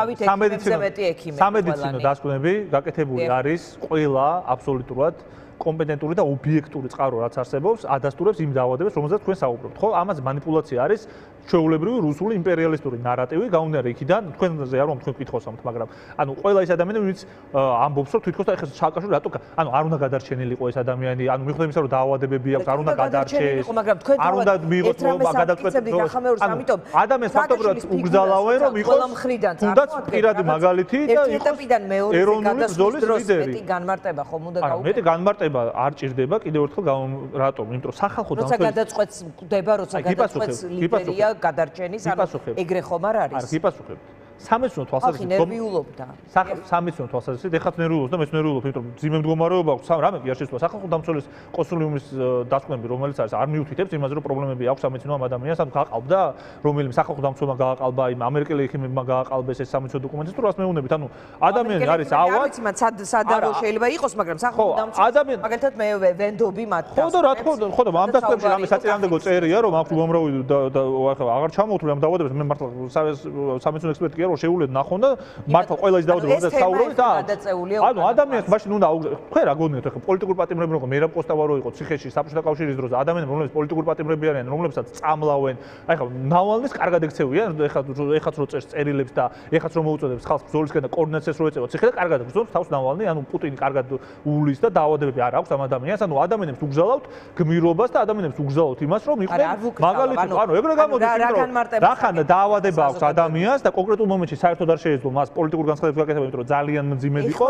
ანუ უკეთ არის ამის მაგალითად. არა, უკეთ არის არა, რას გეუბნებით რომ არის ადამიანი დაავადება, ხო, ადამიანს არის, ხო, მეც ეკი არა, შეიძლება ადამიანი სუბუქად იყოს, ალბათ, მაგრამ რაღაცას გაკეთების შეგეძლოთ, აშენებთ სამედიცინო ტერმინოლოგიაზე და სამედიცინო დონეზე ამის თემის განხილვა არის არაადეკვატურობა. გეუბნებით. არა, გეუბნებით რომ ადამიანებს აქვს გეუბნებით რომ ის არის ბძოლის უნარიან. დიახ, რა თქმა უნდა და მიუხედავად იმისა, ადამიანი, ადამიანი არის წლების მანძილზე, იყვნენ ადამიანები პატიმრობაში, მათ შორის იყვნენ უმძიმესი არადამე მოპყრობის ხერპლები და მიუხედავად ამისა პოულობდნენ ძალას. ამიტომაც არიან ესეთი ადამიანები დიდი ეროვნული და პოლიტიკური ლიდერები, თორე კიდევ ერთხელ მეორებ, არ უამრავი მაგალითის მოყვანა შემიძლია. მერაბ კოსტავანთან დაწყებული, ნავალნით გაგზელებული ადამიანებს, რომლებიც რუსული იმპერიის მსხვერპლები იყვნენ და ადამიანებს ისე ექცეონენ, რომ ძიმე დაავადებები ჰქონდათ.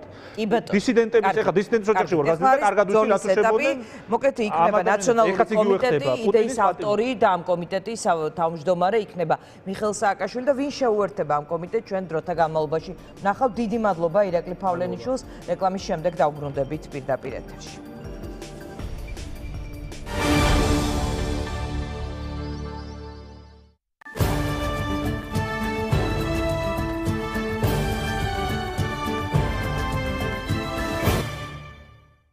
საღამოს ეთერის სპონსორია ლაქტოჯიფორტე. ლაქტოჯიფორტე იმოგზაურე კომფორტულად დიადეის გარეშე. გამოგონების წესს გაიცანით ინსტრუქციას კოდით მოვლენების შესახებ დეტალური ინფორმაციის მისაღებად მიმართეთ ექიმს.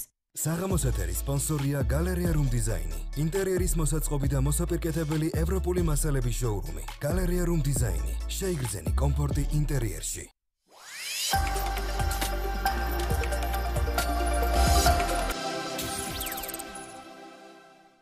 გალფში ტრადიციული გრანდიოზული საზაფხულო გათამაშება.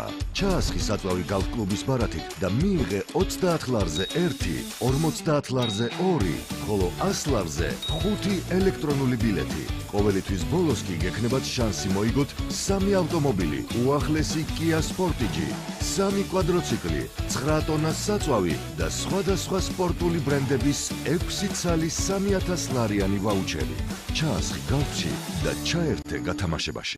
აქცია ოცნებები რეალურ თავგადასავლებად.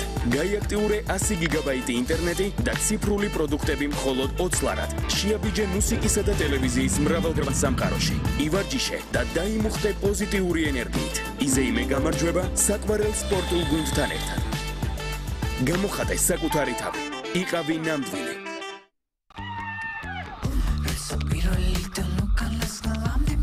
პირველი სექსი მეინც იმას უნდა გქონდეს, ვისაც ვაფშე არ იცნობ. I am the ego charger.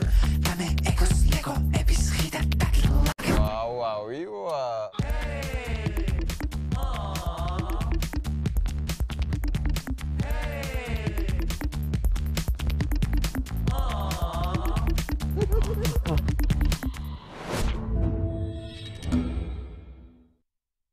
თუ ამ QR-ს დაასკან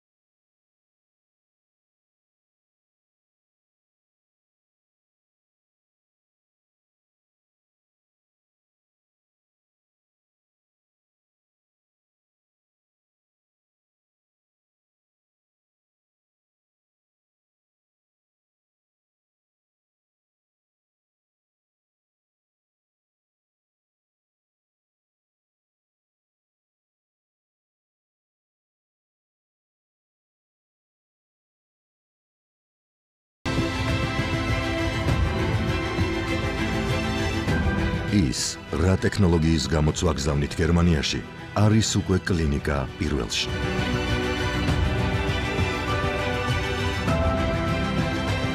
გერმანული ტექნოლოგია გერმანული პასუხი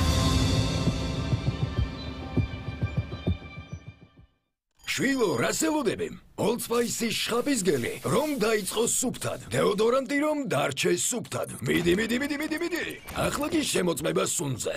სუფთა და დიდებული. შენ რასელოდები? პრემიუმ კლასის საცხოვრებელი კომპლექსის მშენებლობა გლდანში.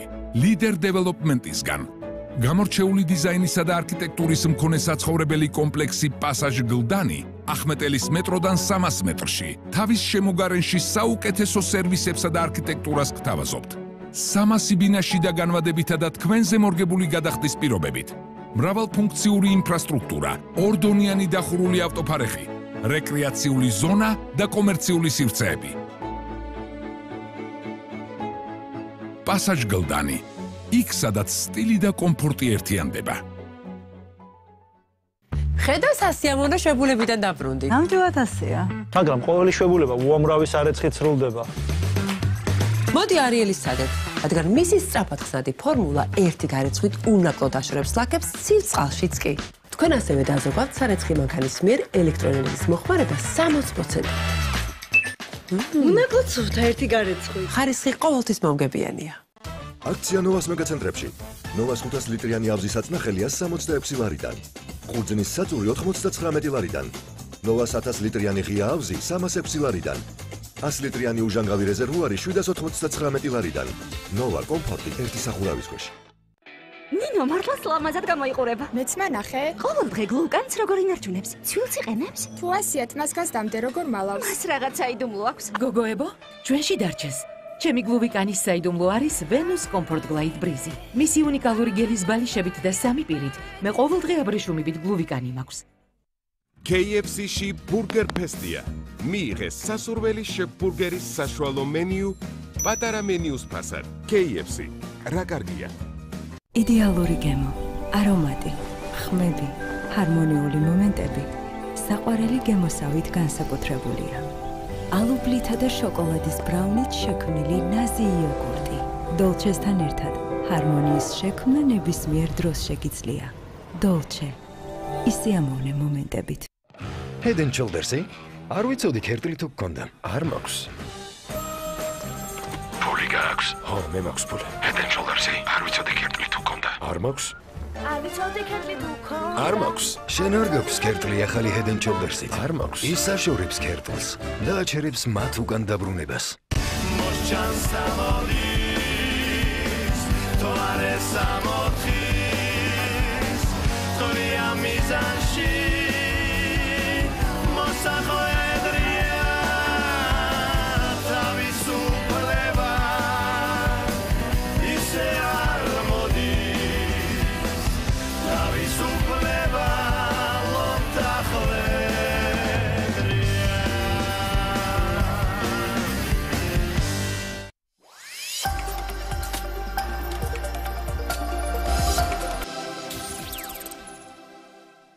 საღამოს ეთერის სპონსორია ლაქტოჯი ფორტე. ლაქტოჯი ფორტე. იმოგზაურე კომფორტულად დიადეის გარეშე. გამოყენებისას გაიცანით ინსტრუქციას კონდით მოვლენების შესახებ დეტალური ინფორმაციის მისაღებად მიმართეთ ექიმს. საღამოს ეთერის სპონსორია გალერეა რუმ დიზაინი. ინტერიერის მოსაწყობი და მოსაპირკეთებელი ევროპული მასალების შოურუმი. გალერეა რუმ დიზაინი. შეიგრძენი კომფორტი ინტერიერში.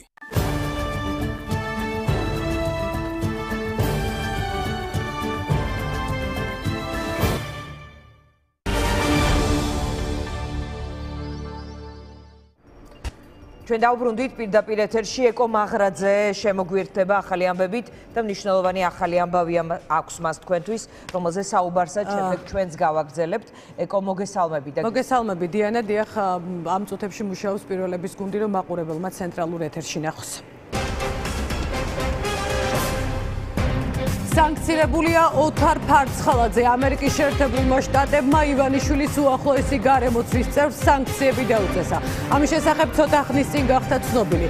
მიზეზი რუსეთთან მჭიდრო კავშირებია. ფარცხალაძე შავ სიაში სწორედ რუსეთის მოქალაქეებთან ერთად მოხდა. ბრძანება ამერიკის ფინანსური დეპარტამენტის უცხოური აქტივების გვერდზე გამოქვეყნდა. სანქციების სიაში ოთარ ფარცხალაძე რუსული და ქართული პასპორტებით არის შეყვანილი რაც ადასტურებს ინფორმაციას რას რასაც TV პირველის გუნდი ჯერ კიდევ თვეების წინ გიყვებოდათ რომ ფარცხალაძეს რუსული პასპორტი ჰქონდა. ყველაფერს ამ თემაზე რვიანში გიყვებით. ენდობა თუ არა მიხელ სააკაშვილი ნაციონალური მოძრაობის ახალ მენეჯმენტს. ეს კითხვა დღეს გაჩნდა რაც გაირკვა რომ სააკაშვილს უნდა პარტია გააკონტროლოს. ამისთვის მაკონტროლებელ საბჭოს აფუძნებს. ხელმძღვანელი თავად იქნება.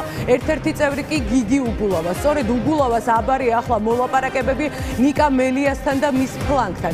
8 საათზე მოგიყვებით ვინ ვის გააკონტროლებს? როგორ შეხვდა ამ ინიციატივას პარტიის ახალი მენეჯმენტი და ნიშნავს თუ არა ეს იმას რომ სააკაშვილი პარტია პარტიის მართვის სადავეებს იბრუნებს. ნანუკა ქაჯაია ყველაზე მსხვილ ოპოზიციურ პარტიაში დაწყებული გადანაწილების შესახებ გიყვებათ რუიაში. ნაციონალური მოძრაობის ბოიკოტი და კრახისთვის განწირული იმპიჩმენტის პროცედურა ენემი პრეზიდენტის გადაყენების საკითხის კენჭისყრაში მონაწილეობას არ მიიღებს. 8 საათზე მოგიყვებით. ნიშნავს თუ არა ეს იმას, რომ ბოიკოტი იქნება საერთო და მას ის დეპუტატებიც შეუერთდებიან, რომლებმაც მანდატი ნაციონალური მოძრაობის სიით მიიღეს, მაგრამ ფრაქციის წევრები არ არიან. იძლევა თუ არა გარანტიას ნაციონალური მოძრაობის მენეჯმენტი, რომ მათი სიით შესული წევრები პარლამენტში გადაბირებულთა მხარეს არ აღმოჩნდებიან. რუსუდან დუმბაძე მუშაობს კიდევ ერთ ცენტრალურ ცენტრალურ პოლიტიკურ თემაზე და რვიანში ყველაფერს მოგიყვებათ. დეოლიგარქიზაცია ივანიშვილის გარეშე ერთადერთი ოლიგარქი კეზერაშვილი და საიდუმლო დამტკიცებული გეგმა. რა წერია დოკუმენტში და რომელ კანონებში გეგმება ცვლილებების შეტანა? ოცნება ამ ყველაფერს საგულდაგულოდ მალავს. მთავრობამ ქვეყნის მართველი ინსტიტუტები, სასამართლო და მედია უცხო პირების ჩარევისგან უნდა დაიცვას, მაგრამ ვისგან და როგორ?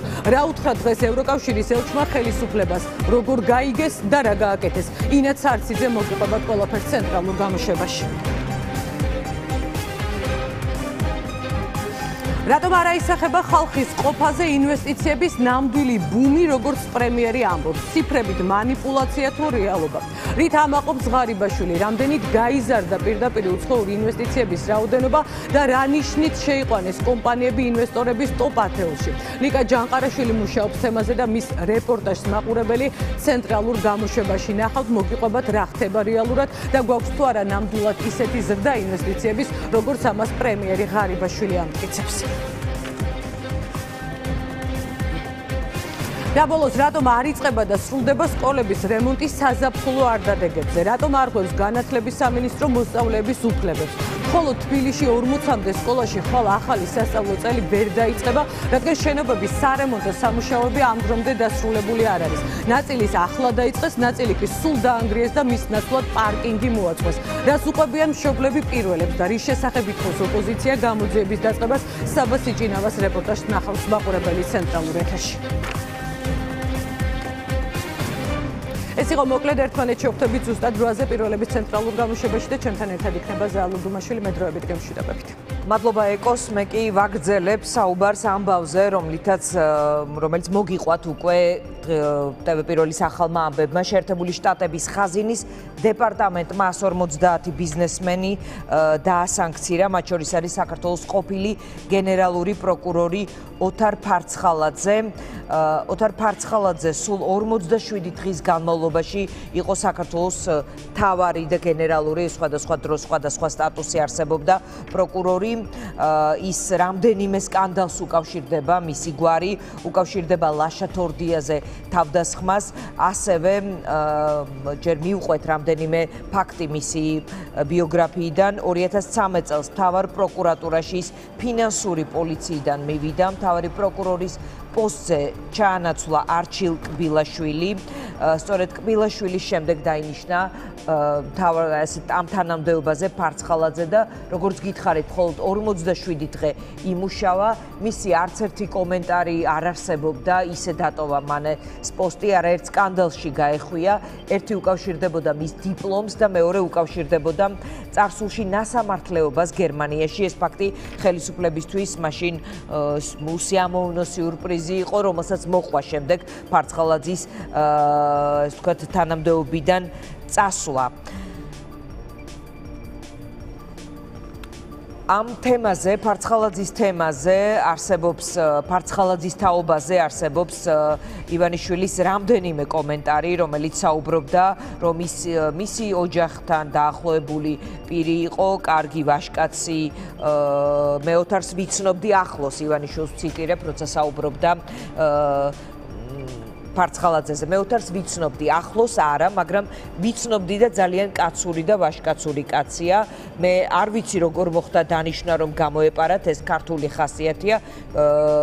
ქართველები ელექტრონიკას ვყიდულობ და პირდაპირ დენში ვთავთ, არც ერთი ვკითხულობთ ინსტრუქციას. ზუსტად ასე მოხდა, ჩემი აზრით, არც მან მიაქცია ყურადღება, არც გუნდმა რამე თუ მას აქამდე არ ქონდა მაღალ თანამდებობებზე ნამუშევარი და მანამდეც უნდა მიქცეოდა ყურადღება. ეს ივანიშვილი საუბრობდა ასე ფარცხალაძის შესახებ 2014 წელს და ლაშა თორდიას საქმე, როდესაც საუბრობილი უფლებადამცველი თორდიას უფლებადამცველი უკაცრავად საუბრობდა რომ ეს საქმე იყო არასწორად და არაობიექტურად წარმოებული და ლაშა თორდიას შეერთებულ შტატებში პოლიტიკური დევნილი სტატუსი მიეცა. ასევე TV პირველის შაბათის გუნდი საუბრობდა რომ ის გადასულია რუსეთში. იქ აქვს თავისი ბიზნესები. მოკლედ ქართული ოცნების დროს ყოფილი მთავარი პროკურორი შეერთებული შტატების სანქცირებულ პირთა სიაში ამოხვედრილი. ეს არის ამბავი რომელიც მინდოდა კიდევ ერთხელ მოგვეყოლა და თუ ამ თემაზე გვექნება ასევე კიდევ კომენტარები დაუბრუნდებით. ჩვენი სტუმარია თამარ ჩერგოლეიშვილი მე მას მივესალმები ტაბულასა და ამომრჩეულთა განათლების საზოგადოების დამფუძნებელი. თამარ მოგესალმებით. მოდი დავიწყოთ ამ ამბავზე საუბრით იმიტომ რომ სანქციების თემა მუდმივად არის პოლიტიკურ პოლიტიკურ პროცესში ტრიალებს ეს თემა.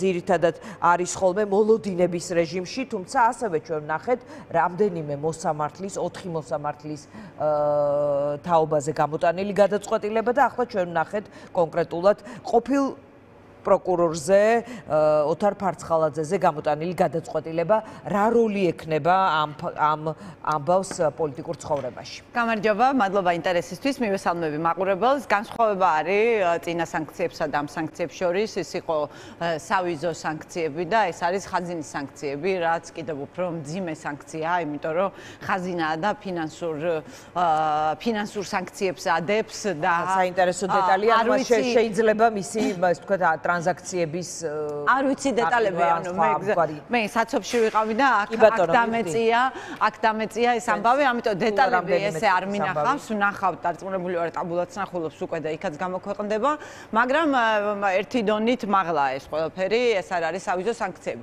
ეს არის ძალიან კარგი კარგი იმ თვალსაზრისით რომ ანგარიშვალდებულება როცა არ არსებობს ქვეყანაში კარგია რომ სადღაც სხვაგან ჩდება ეს ანგარიშვალდებულება რომ ადამიანები პასუხს აგებენ არ ვიცი ჩამოთვალე გაისწავლე თუ არა მან ვანო მერაბიშვილის მნიშვნელოვანი საქმე აუცილებლად მისი გაყვანის ეპიზოდი. ხო მისი გაყვანის ეპიზოდი სადაც ეს ფიგურირებს და გაიპარა მაშინ ეს და ყურადღების მიღმა დარჩა მაგრამ ვანო მერაბიშვილს რეალურად პოლიტიკური მოტივი დადასტურებული აქვს სტრასბურგის სასამართლოს მიერ და ერთ-ერთი შვიათი საქმეა რომელიც მოგებულა საერთოდ სტრასბურგის სასამართლოში და ფარცხალაძე იქ ფიგურირებს ზუსტად ერთ-ერთი მნიშვნელოვანი ფიგურანტია ის ის არის ვანო მერაბიშვილის გამოყანი მაგრამ ეს როგერზე გადავდოთ ანუ ძალიან მნიშვნელოვანია რომ ივანიშვილის გარემოცვა მიცოდეს რომ ისინი არ არიან ისინი არ დარჩებიან დაუსჯელნი და მაშინ როდესაც თქვათ ამ ქვეყანაში ეს არის რაღაც წრის დაახლოების მსგავსი ამ ამ ქვეყანაში როდესაც არის განუკითხაობა არსებობს რაღაც მექანიზმი რომელიც ამ ადამიანებს რომლებიც რეჟიმის ინსტრუმენტები არიან პრორუსული პუტინისტური რეჟიმის ინსტრუმენტები არიან პასუხს თხოვს. ბუნებრივია ეს ძალიან კარგია მაგრამ ჩვენ არ უნდა შეგოშალოს ერთი რამ რომ ეს ვერ გააკეთებს ჩვენს გასაკეთებელ საქმეს.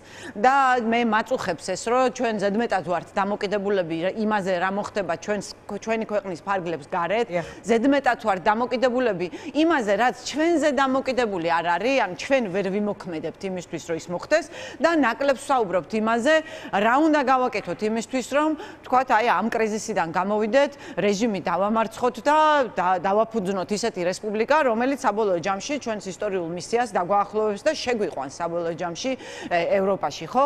ანუ ჩვენი ძალიან დიდი დრო პოლიტიკური დღისწესრიგის უზარმაზარი ნაწილი მე აქ რაღაც მანევრების, ინტრიგების, ეგ რაღაცა ალიანსების და პოლიტიკოსების ერთმანეთში ლაპარაკში გარჩევას, მაშინ როდესაც ანუ თუნდაც აი იმ ალიანს, ან იმ მანევრს, ან იმ თქვათ, არ ვიცი მე რაღაც გადაადგილებას პოლიტიკურს ქართველი ხალხისთვის რა ცვლილება მოაქვს ამაზე ჩვენ არ ვჯელობთ ანუ ჩვენ ძალიან ცოტა ხნის წინ გავიგეთ ზუსტად ესევე მოსამართლეების სანქციების ამბავი და ეს მართლაც დიდი სირცხვილია საქართველოს ისტორიაში იმიტომ რომ მოსამართლე სასამართლო მართლმსაჯულების უმაღლესი თანამდებობის პირები არიან სანქცირებულები საქართველოს ისტორიაში პირველად ასე დემოკრატიის ლიდერი სახელმწიფოს მიერ. ხო ესეთი რამე არ მომხდარა. მაგრამ ვისარგებლეთ ჩვენ ამით ოპოზიციამ ანუ ვისარგებლეთ ამით. მოდით ამ თემაზე ვისაუბროთ ამასობაში მე ავიკითხა უბრალოდ Associated Press-ის თარგმნა შეიძლება ასევე გავრცობაში ამ თემის დაგვეხმაროს. შეერთებულმა შტატებმა ხუთშაბათს განაცხადა რომ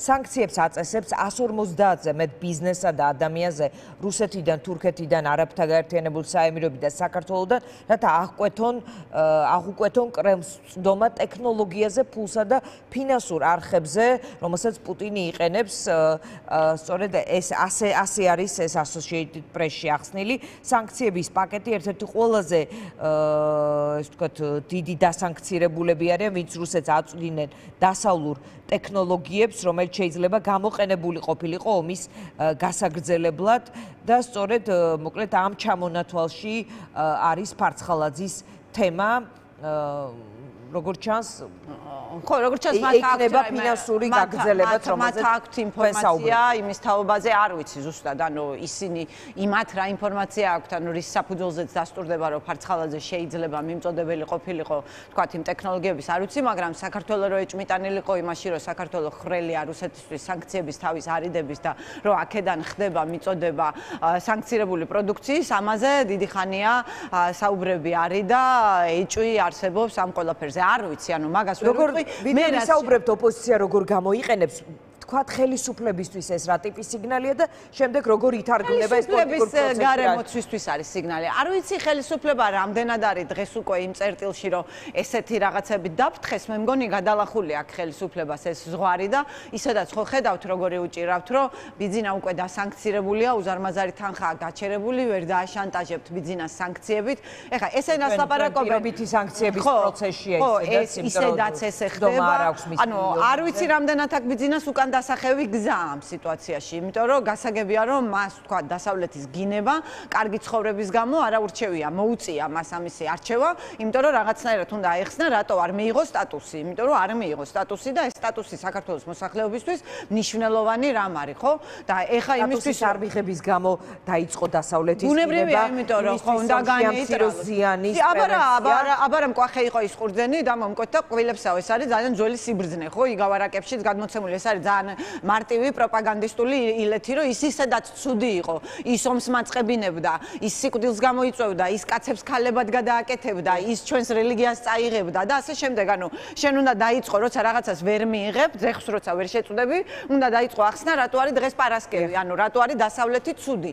შესაბამისად, ბიძინა იძულებული გახდა, რომ დასავლეთს დაპირისპირებოდა, იმიტომ რომ რომ არ დაპირისპირებოდა, მაშინ ის რეფორმები უნდა გაეტარებინა, რაც მას ძალაუფლებას დააკარგინებდა და ძალაუფლების დაკარგვას ის არ განიხილავს, როცა აწონა დაწონა ძალაუფლების დაკარგვას არჩია სტატუსის დაკარგვა. და სტატუსი რო იკარგება, ეხა რაღაცნაირად მან უნდა შეძლოს და ამისი ზიანი აკონტროლოს. ამიტომ დაუპირისპირდა დასავლეთს, ამოარჩია საქართველოს მოსახლეობისთვის ყველაზე მგრძნობიარე და საშიში თემები. ერთ-ერთი არის ომი, რომელიც აბსოლუტურად ლეგიტიმური შიში არსებობს მოსახლეობაში, იმიტომ რომ გქონია ეს ომი და იმით სარგებლობს, რომ შიშით, თქვათ, შეპყრობილ მოსახლეობას შეიძლება იოლად გააბრიყოს, რაციონალური აზროვნების უნარი შეუმციროს და უმტკიცებს ისეთ სიგიჟეს, თითქოს რუსეთთან მარტო დარჩენა ნიშნავს ომის თავიდან აცილებას და მშვიდობას და დასავლეთში ინტეგრაციას მოაქვს ომი, ხო? ესეთ აბსურდს ამტკიცებს, მაგრამ ამას არ ამტკიცებს, იმიტომ რომ ესე უნდა, ის იძულებულია, იმიტომ რომ დაძალაუფლებას, ძალაუფლებას საფრთხე ექმნება მისას სტატუს რო ვერ იღებს და ეს რაღაცნაირად ეს ამბები, ყველა ეს ამბავი 4 მოსამართლის თემა, ახლა ფარცხალაძის თემა, რომელიც ცხადია რომ ივანიშვილთან დაკავშირებული პირია და ამ თემაზე მისი კომენტარიც არსებობს. ეს ამას ოპოზიცია 4 მოსამართლის თემა ვერ გამოიყენა თქვენ ამბობთ ეს თემაც იქნება მისი მხრიდან ანუ დიან აი შეხედე ძალიან მარტივი რაღაცა ოპოზიციაც ვინ არის ხო? ოპოზიცია არის ის ხალხი რომელიც რაღაცა ფორმით ან ხარს უჭერდა ან თვითონ იყო ძალაუფლებაში ხო? რაღაც ფორმით ესეთი ხალხია. კი არიან იქ სხვებიც მაგრამ უმეტესობა უმრავლესობა არის ეს. ანუ ოპოზიციამ რო ჩაანაცვლოს ქართული ოცნების რეჟიმი ამისთვის საქართველოს მოსახლეობამ უნდა დაინახოს რომ ეს დღევანდელი კვერცხი რაც უჭირავს სოცდახმარებების ისიქ მოსყიდვის, ისიქ საჯარო სამსახურში მუშაობის და ამის, ანუ ის ნაწილი, რომელიც გადმოსაბირებელია, რომ ბიძინა დავამარცხოთ, ხო? იმან უნდა ხვალინდელი ქათამი ისე ნათლად დაინახოს, რომ დღევანდელ კვერცხს არჩიოს. ესეთი ტიპია. ქათამი არა.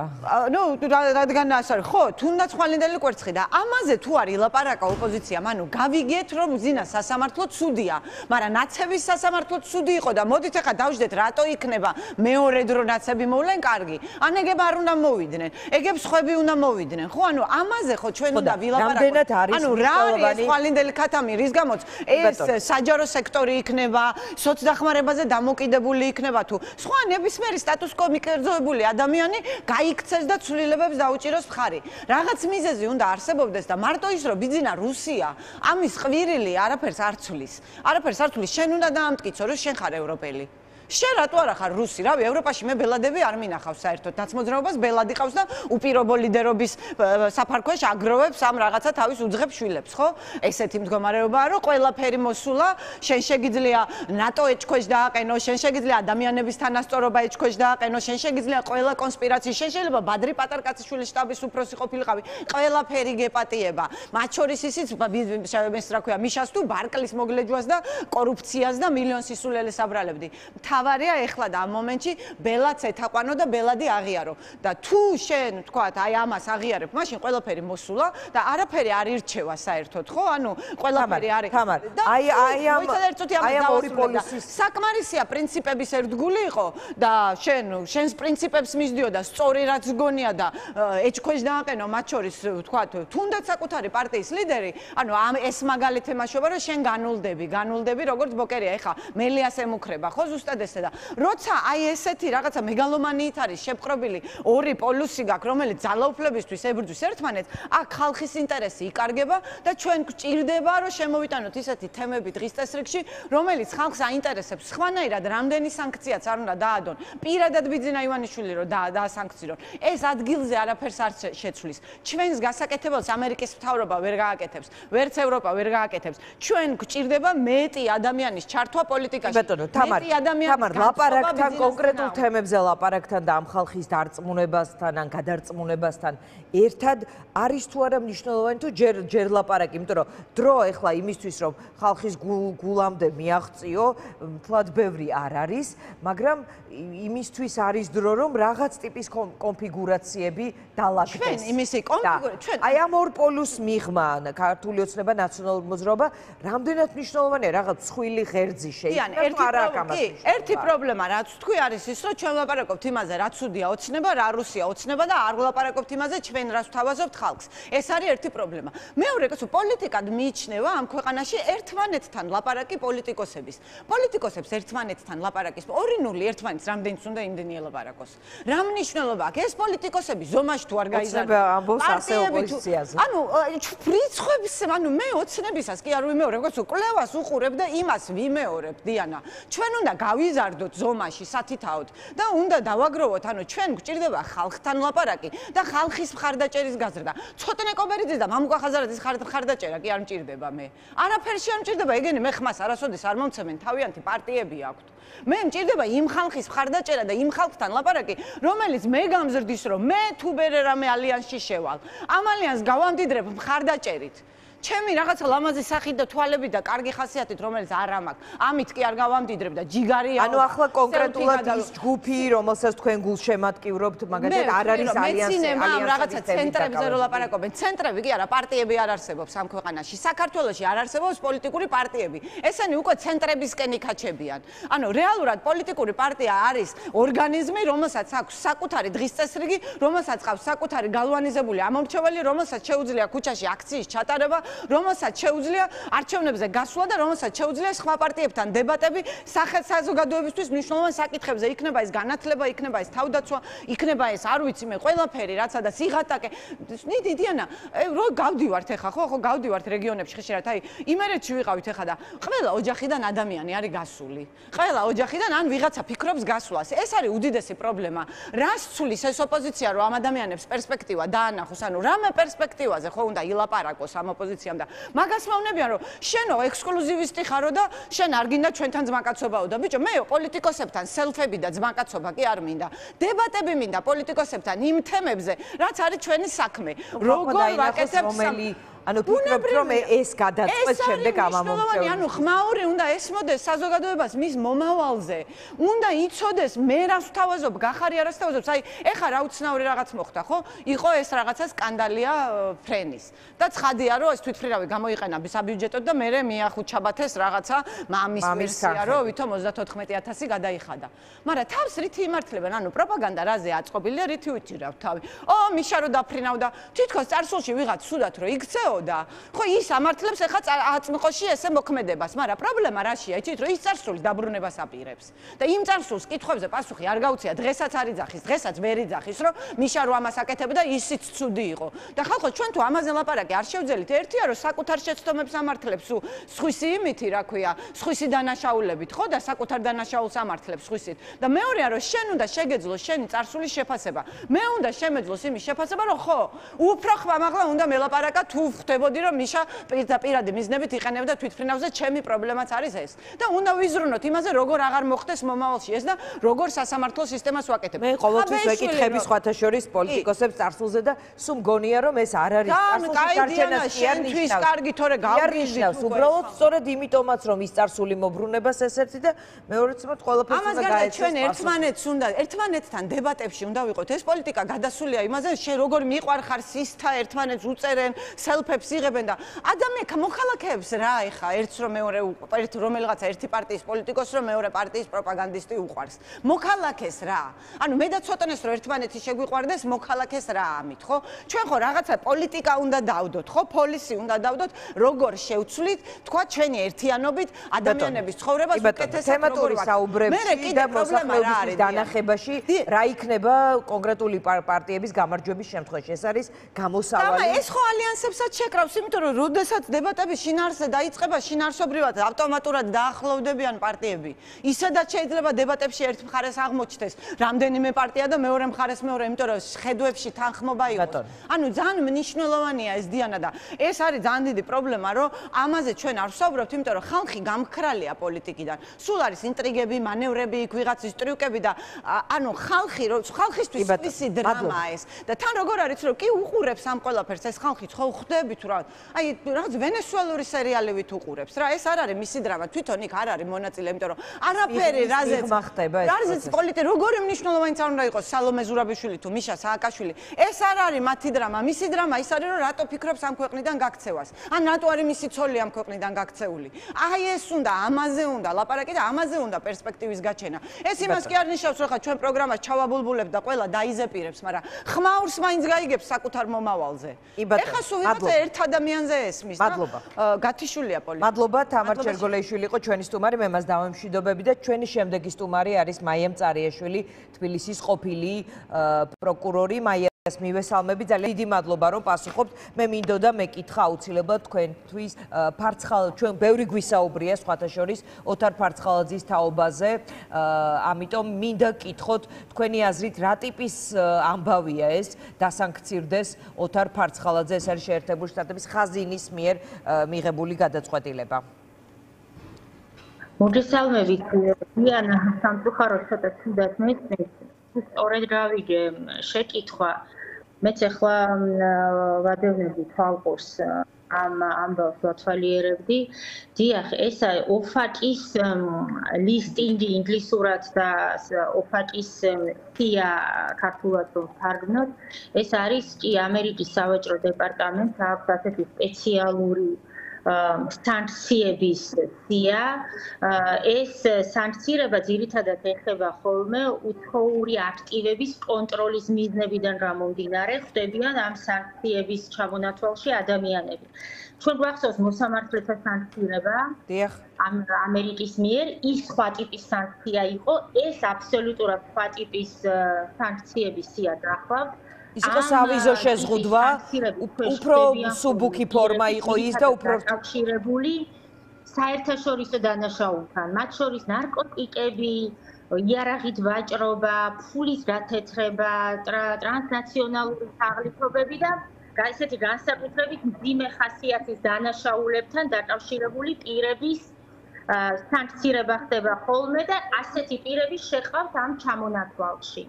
შემდეგ ასეთი პირების მიმართ და მათთან დაკავშირებული კომპანიები ცდებიან ხოლმე არ ამერიკა იყენებს სხვადასხვა ტიპის ქონებრივ სანქციებს.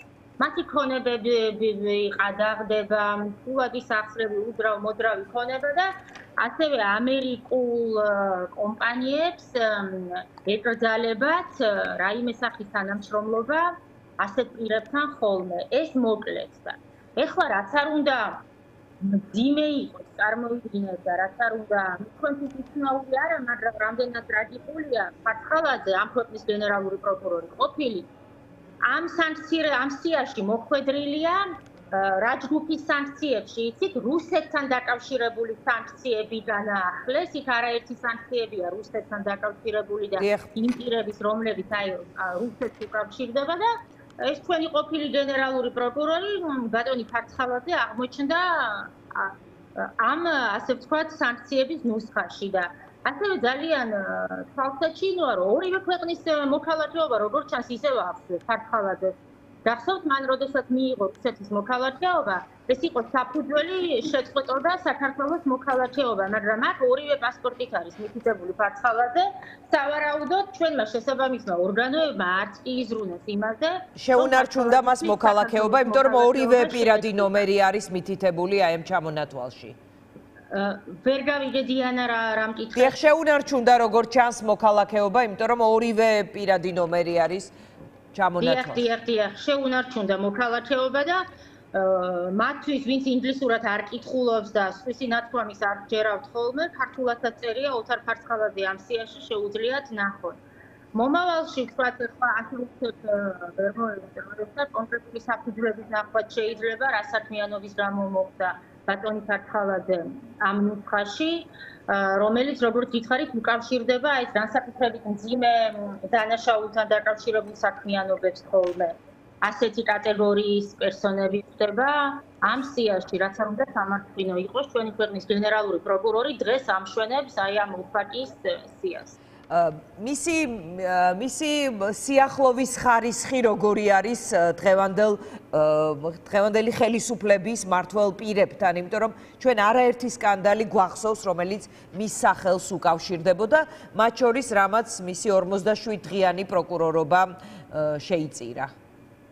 დიახ, დიახ, სწორია, მართ მართლაც არაერთი სკანდალი უკავშირდება სახელს და საერთოდ მისი გენერალური პროკურორობა ალბათ ერთ-ერთი ყველაზე დიდი სკანდალი იყო მისი მოქმედება ამ თანამდებობაზე. ჩვენი პროკურატურაც კი არ იმსახურებდა ასე გენერალურ პროკურორს, მაგრამ ეს ყველაფერი რაც მის სახელთან ასოცირდება, თქვენ გახსოვთ მე ხო მისი უცნაური გამდიდრება მისი უცნაური რაღაცა ინტერესები ბიზნესში, მისი ადვოკატის განცხადებებსაც რა გახსენებთ? თუ რომ არ იცოდნენ, ანუ ფული ლეგალური საიდან ქონდა ქართლაძეს და ისეთი ბიზნესები დაასახელეს მისი საქმიანობის სფერო, შემდეგ თავად ამ ბიზნესებმა უარყვეს აქ არ საქმიანობს ქართლაძეო, მაგრამ ამ ქვეყანაში ხო ჩვეულებრივი ამბავია, რომ თანამდებობის პირი აღარ არის თანამდებობაზე, მეორე დღეს გაუყინდება გონება და ბიზნესის ნიჭი აღმოაჩნდება და უცებ დააგროვებს უზარმაზარ ქონებას რომელიც არ საბუთდება არანაირი ელემენტარული ლოგიკითაც კი. ეს რაღაცა ფარცხალაძის შემთხვევა მაგრამ ამ ქვეყანაში არავინ შეისმინა ეს ამბები დიანა. თუმცა ახლა ის ის ქვეყნები ძალიან ადვილად ხვდებიან. რა არის რა ტიპის პერსონაჟები არიან ასეთი პერსონაჟები რა ტიპის საქმიანობას ეწევიან და ეს მტკიცებულებები მათთვის საკმარისია იმისთვის, რომ აი ამ კატეგორიის სანქციებში მოახვედრონ ასეთი პერსონაჟები. ჩვენნაირი ქვეყნებისთვის არაფერი არ არის საკმარისი იმისთვის, რომ ასეთი კატეგორიების პერსონაჟებს თავისი სახელი დაერქვას, მათ მიმართ დაიწყოს დევნა სხვადასხვა ბრალდებები და გარწმუნებს ასეთი არაერთი საფუძველი არსებობს ამ ქვეყანაში. მის უცნაურ გამდიდრებასთან და სხვა უკანონო საქმიანობებთან დაკავშირებით. მაგრამ აი ეს არის მოცემულობა, რაც ძალიან ძიმე რეალობაა, ძალიან ძიმე რეალობაა. ჩვენ ნახეთ როგორ გადა მაია როგორ გადაეფარა ოცნება მოსამართლეებს. ახლა საინტერესოა ნახავთ თუ არა იგივე შემთხვევას, როცა ფარცხალაძის სანქცირებაზეა საუბარი. ვერ გავიგე კითხვის პირველი ნაწილი. მოსამართლეების სანქცირების დროს ჩვენ ვნახეთ რა ტიპის განცხადებები კეთდებოდა, ახლა საინტერესოა როგორი იქნება გამოხმაურება და გადაფარების, ასე ვთქვათ, ხარისხი იქნება თუ არა ბატონ ფარცხალაძეს. მე ეჭვი მაქვს დიანა რომ ამ შემთხვევაში ასეთი ხო სხვადასხვა სპიკერები ფიქრობ მოინდომებენ დისტანცირებას ამ თემიდან და თქვა ფიქრობ დისტანცირებას მოინდომებენ და არ ამგონია მაინდა მაინც მოინდომონ ამ თემასთან ახლოს ასოცირება. ნახოთ ეს ჩემი მოსაზრება გახლავთ. თქვა განსხვავებით სასამართლო სისტემიდან, იმიტომ რომ სასამართლო სისტემა ამ სიტყვას მათი საყრდენია და მათ ეს ასე ვთქვათ ახალგაზრდობის სისტემა წირდებათ და მათი არსებობის გარანტია. ეს ფარცხალაძის შემთხვევა კიდევ თქვი სხვა მოსამართლებთან დაკავშირებით იქ იყო ბრალდებები მათ კორუფციასთან და იმის გამო რომ სასამართლო სისტემა დააზიანეს და აქ მის დანაშაულებრივ საქმიანობასთან დაკავშირებით არის მისი სანქცირება, რაც ძალიან ძიმე დანაშაულებს უკავშირდება, არის ტრანსნაციონალურ დანაშაულებთან კავშირშია ძირითადად და დანაშაულებრივი გზით მოპოვებულ ქონებებს უკავშირდება ხოლმე აი ასეთ სიაში მოხვედრა ასეთი პერსონაჟები. დიანა ანუ მისი ქონება დიდი დოზით არის დანაშაულებრივი გზებით მოპოვებული ძალიან დიდი მადლობა მაიამ წარიაშვილი თბილისის ყოფილი პროკურორი იყო ჩვენი სტუმარი საუბარია მოკეციაში ასე წერია ქართულ ქართულ რუს ოლიგარქზე ოთარ ფარცხალაძეზე რომელზეც უფრო მეც კიდევ გეტყვით რეკლამის შემდეგ დაუბრუნდებით.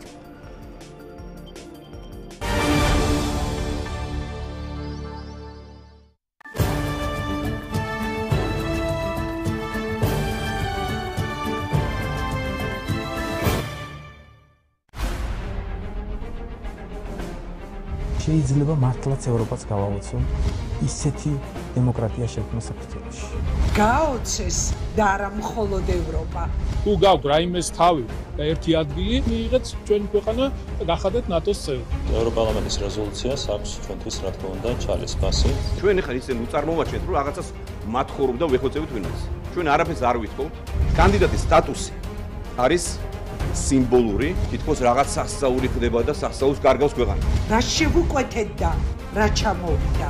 ჩვენ 50 ლარით უნდა ვიარსებოთ? 50 მაქვს სოციალური. სწავლებში არ ყოფნის ის ჩემპიონსის ფული და დანარჩენი რა გავაკეთო? ყველაფერს აკეთებენ თავიანთ. გლეხ ხალხის ვინ არა ვიცი, არც ამოსულა ჩვენი გზა და არც ამოვა. ხორებაა ჩვენთან, რა მგონია? მე ვწვალობ მაგალითად. რეაქციაში დღეს ნამდვილი საქართველოს და ოცნების გლამურული საქართველოს.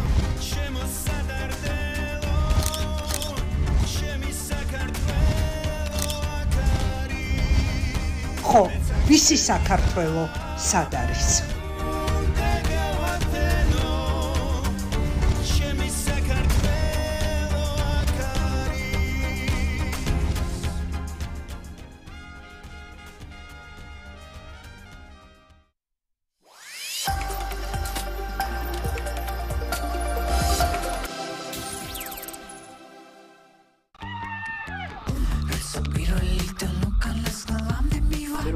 მაინც იმას ან დაქონდეს, ვისაც ვაფშე არ იცნობ. I am the ego charger. ამე ეკოს ლეგო ეპის ხიდა დაკილაკე. ვაუ, ვაუ, იუა.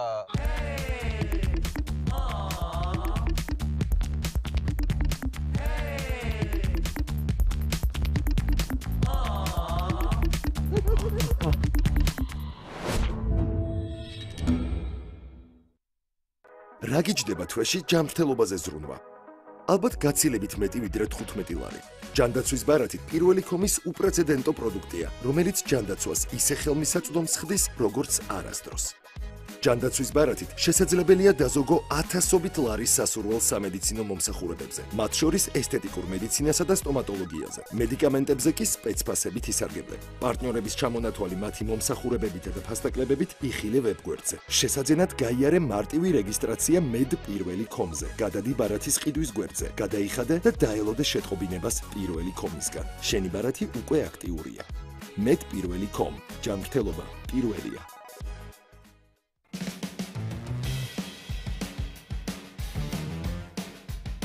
შემოდი ჩვენს ონლაინ მაღაზიაში. იპოვე საშენო პროდუქტი. გადაიხადე ნებისმიერი ბანკის ბარათით ან გადაანაწილე 6 თვეზე უპროცენტოდ. ისარგებლე უფასო საკურიერო მომსახურებით მთელი საქართველოს მასშტაბით. თბილისში კი შენაძენს მაქსიმუმ 3 საათში მოგიტანთ. გაიარე რეგისტრაცია და მიიღე 500 მონეტა. დაგროვებულ მონეტებს კი ვაუჩერების გვერდზე სასურველი ფასტაკლების ვაუჩერებში წვი. დაიწყე შოპინგი ახლავე. პირველი კომ. მიიღე მეტი ცხოვრებისგან.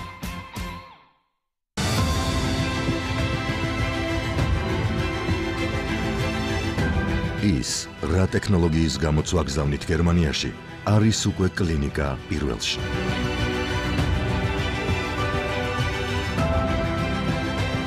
გერმანული ტექნოლოგია, გერმანული პასუხი.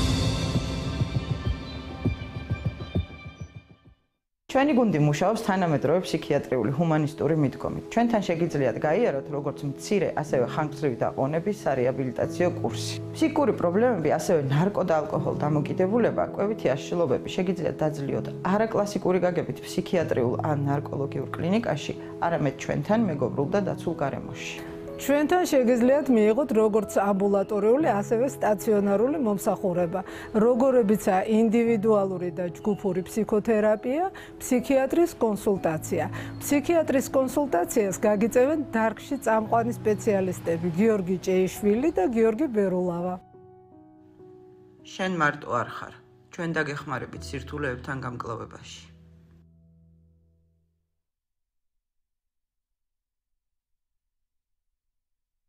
გალფში ტრადიციული გრანდიოზული საზაფხულო გათამაშება.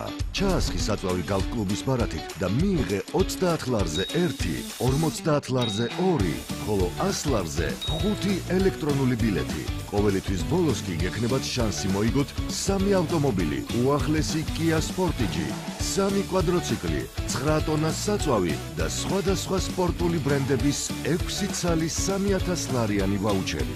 ჩაასხი გალფში და ჩაერთე გათამაშებაში. გაიცანით, პრემიუმ ხარისხის ელექტროავტომობილი Skywell იყიდება ოფიციალური ქარხნული გარანტიით. ჩაეწერეთ ტესტ დრაივზე 032 255 1050. სენავტო. უპირატესობა ხარისხშია. 1+1 აქცია კარფურში. შეიძინე 2-1-ის ფასად. ხსნადი ყავა 18 ლარი და 95 თეთრი. ორცხობილა 6 ლარი და 55 თეთრი. წვენი 3 ლარი და 45 თეთრი. საწმენდი საშუალება 5 ლარი და 25 თეთრი. საწმენდი სითხე 13 ლარი და 95 თეთრი. კიდევ ერთი ხსნადი ყავა, კიდევ ერთი ორცხობილა, კიდევ ერთი წვენი, კიდევ ერთი საწმენდი საშუალება, კიდევ ერთი საწმენდი სითხე და კიდევ მრავალი სხვა უფასოდ. 1983 წლიდან დღემდე ყოველთვის ოქროსფერი, ყოველთვის ხრაშუნა, ყოველთვის გემრიელი 40 წელი ჩიკენ მაგნაგეტსთან ერთად შექმნილია გაზიარებისთვის.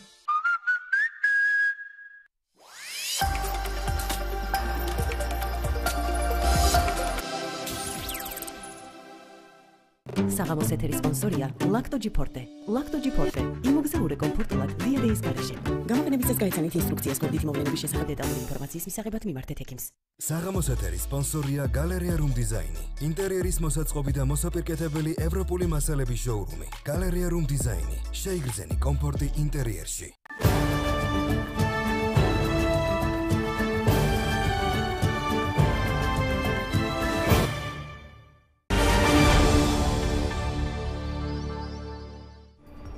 ჩვენ დაუბრუნდით პირდაპირ ეთერში კიდევ ერთხელ ამერიკამ სანქციები დაუწესა 150-ზე მეტ ბიზნესმენს და სხვა სფეროს წარმომადგენელს. სოფლიო მასშტაბით, რათა ხელი შეუშალოს პუტინს რუსეთის პრეზიდენტს პუტინს ხელი მიუწვდებოდეს ტექნოლოგიებსა და ფინანსურ არხებზე, რომლებიც უკრაინაში ომის გასაგრძელებლად ეხმარება. სანქციების ამ პაკეტში მოხვდა საქართველოს ყოფილი გენერალური პროკურორი ფარცხალაძე, რომელიც სახელმწიფო დეპარტამენტის დოკუმენტში მოხსენიებულია როგორც ქართველი რუსი ოლიგარქი. და ასევე საუბარია სახელმწიფო დეპარტამენტში საუბარია რომ ონიშენკო და FSB ონიშენკო არის კიდევ ერთი სანქცირებული პირი ალექსანდრე ონიშენკო რომელიც რუსეთის უსაფრთხოების სამსახურის თანამშრომელია და როგორც დეპარტამენტი აღნიშნავს ონიშენკო სავარაუდოდ ფარცხალაძეს რუსული პასპორტისა და მოქალაქეობის მიღებაში დაეხმარა. ფარცხალაძემ სულად მიიღო რუსული იდენტობა და რეგულარულად მიემგზავრება რუსეთში ნათქვამია დეპარტამენტის განცხადებაში. ასევე საუბარია რომ ონიშენკო და FSB იყენებდნენ ფარცხალაძეს ქართულ საზოგადოებასა და პოლიტიკაზე გავლენის მოსახდენად რუსული ინტერესების სასარგებლოდ ფარცხალაძემ პირადი სარგებელი მიიღო FSB-სთან მისი კავშირებით. მოკლედ ეს არის ის რაც წერია სახელმწიფო დეპარტამენტის დეპარტამენტში ასე ვთქვათ, რაზეც აი ამ სანქციების სიასთან დაკავშირებით რუსი ქართველი ოლიგარქი ოთარ ფარცხალაძე. იაგო ხვიჩი არის ჩვენი სტუმარი, მე მას მივესალმები. იაგო, ძალიან დიდი მადლობა, რომ ხარ ჩვენთან ერთად. პირველში ამ კონკრეტულ ფაქტს როგორ გამოეხმაურებოდით? ნუ ეფეს ანუ ყველა საინტერესო მოგონდა თქვენ წაიკითხეთ იმაში იყო რომ საქართველოს გენერალური პროკურორი ეფესბესთან კავშირში და ფულის შოვნაში არის დადანაშაულებული ამერიკის შეერთებული შტატების მიერ. უბრალოდ მე მიჭირს გამოვხატო გაკვირვება მას შემდეგ რა და არც ისიც ვიცი რა მოხდება ამის შემდეგ, იმიტომ რომ მოგიხსენებათ არათუ ყოფილი პროკურორები, ამეთ მოქმედი მოსამართლეები ყავს სანქცირებული ამერიკის შეერთებული შტატების მიერ. უბრალოდ მაინც დავაზუსტებ, რომ სხვადასხვა ტიპის დოკუმენტებში არიან ეს ბევრად მძიმე და სხვადასხვა ტიპის სანქციებზეა საუბარი, უბრალოდ სავიზო, ასე ვთქვათ, შესვლა ისიც მძიმეა გეთანხმები, თორსა მოსამართლეზეა საუბარი, მაგრამ სხვადასხვა წონის სანქციაზეა საუბარი. და ნუ ჩემი აზრით ჩვენთვის ისედაც მე მგონი ცხადი იყო ქართული ოცნების ნაკლოვანებებიც და არც ფარცხალაძეზე ყოფილვართ აქამდეც განსაკუთრებით დიდი აზრის, მაგრამ მე მგონია რომ ძალიან საინტერესო იქნება ქართული ხალხის დამოკიდებულება და რამდენად რამდენად შევძლებთ ჩვენ ადამიანები აუხსნათ. ასეთი ტიპის მაგალითები ჩვენს მოსახლეობას თუ რა შარში ვართ სინამდვილეში და საით მივდივართ და როგორ უყურებენ ჩვენს პერსპექტივას ჩვენი პარტნიორები, მათ შორის ამერიკის შეერთებული შტატები, იმიტომ რომ ჩვენ არ დაგვავიწყდეს, რომ ეს ადამიანი ჩვენთან მაღალ თანამდებობაზე მუშაობდა, თა საპასუხისმგებლო თანამდებობაზე, რომელიც მართსაჯულებას ეხება და ქართული მართსაჯულება რო დასავლურ მართსაჯულებას არ გავდა, მე მგონი საქართველოს მოსახლეობისთვის ხადი იყო, თუმცა რას წააგავდა და სადავურ მართსაჯულებას წააგავს, მე მგონი მას ასევე პერსონალური კავშირები ჰქონდა ივანიშვილის ოჯახთან. მარტო იმ 47-იან დღიანი პროკურორობით მისი და დღევანდელი ხელისუფლების ელიტის ეს თქვა კომუნიკაცია არ მთავრდება. როგორ ფიქრობთ ქართული ოცნება შორს დაიჭერს მისგან თავს თუ ნახავთ ისეთივე სცენას როგორც იყო მაგალითად მოსამართლეების შემთხვევაში როდესაც შეერთებული შტატებისკენ ძალიან მკვეთრი საკეთება. ის მოქმედი თანამდებობის პირი არ არის, ზოგადად ამიტომ შეიძლება ოდნავ განსხვავებული რაღაც იყოს, მაგრამ მე მგონი ყველასთვის გასაგებია, რომ ბატონი ფარცხალაძე რომელსაც ბრალდებოდა ministris აუდიტის სამსახურის უფროსზე ფიზიკური ძალადობა, ზოგადად ასე თავისუფლად ვერ ივლიდა, რომ ქართული ოცნების მაღალ ეშელონთან არ ყოფილიყო დაახლოებული. ხო ამის იქით მე მგონია, რომ უფრო მეტი ინფორმაცია გვჭირდება, ზოგადად და სანქციების შესახებაც და კავშირების შესახებაც ქართულ ოცნებასთან. მაგრამ მე მგონია რომ არაფერი დამალული არ დარჩება ამ საქმეში ჩემი წარმოდგენით და თანდათან ეს საქმე კიდევ უფრო და უფრო მოექცევა ყურადღების ქვეშ, იმიტომ რომ არ მჯერა რომ ფარცხალაძე მარტო იქნება ან ან ქართულ პოლიტიკაზე გავლენას, რომელზეც არის ასევე საუბარი, რომ ისინი ცდილობდნენ ქართულ საზოგადოებას და პოლიტიკაზე გავლენის მოხდენას რუსული ინტერესების სასარგებლოდ. ნუ ჩემი აზრით ამერიკა თავისი შნოთი და მარიფათით ალბათ არა, ჩვენ ხო ერთიანი სურათი უნდა დავინახოთ, დაიწყეს მოსამართლეებით და თქვენს რომ რაღაც არ შეუშვებთ ამერიკის შეერთებულ შტატებში. მეორე ნაბიჯი იქნა თქვათ ფარცხალაძე, მაგრამ ეს მე მგონია რომ პროცესია და რა თქვათ დასრულებული ფაქტი. კი ბეტონო, იაგო, კიდევ რა ჩანს ამერთიან სურათში, მე მინდა გადავიდეთ პრეზიდენტის იმპიჩმენტის თემაზე, თქვენ გქონდათ მასთან შეხვედრა, ეს თემაც თუ არის ამერთიანი სურათის ნაწილი?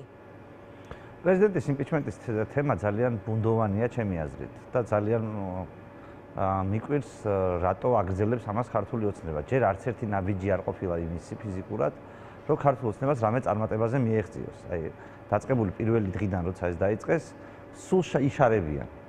და ჩემი აზრით ასევე ქართულ ოცნებას მეგონი რაღაცნაირი გზნობა სიფრთხილის დაჩლუნგებული აქვს, იმიტომ რომ მაკრონთან ვიდეოს გამოქვეყნების შემდეგ მაინც ეს პროცესი უნდა დამთავრებულიყო. თუ მაკრონთან ვიდეო არ იყო საკმარისი ბორილის ჩამოსვლის მერე ეს ვიდეო უნდა დამთავრებულიყო.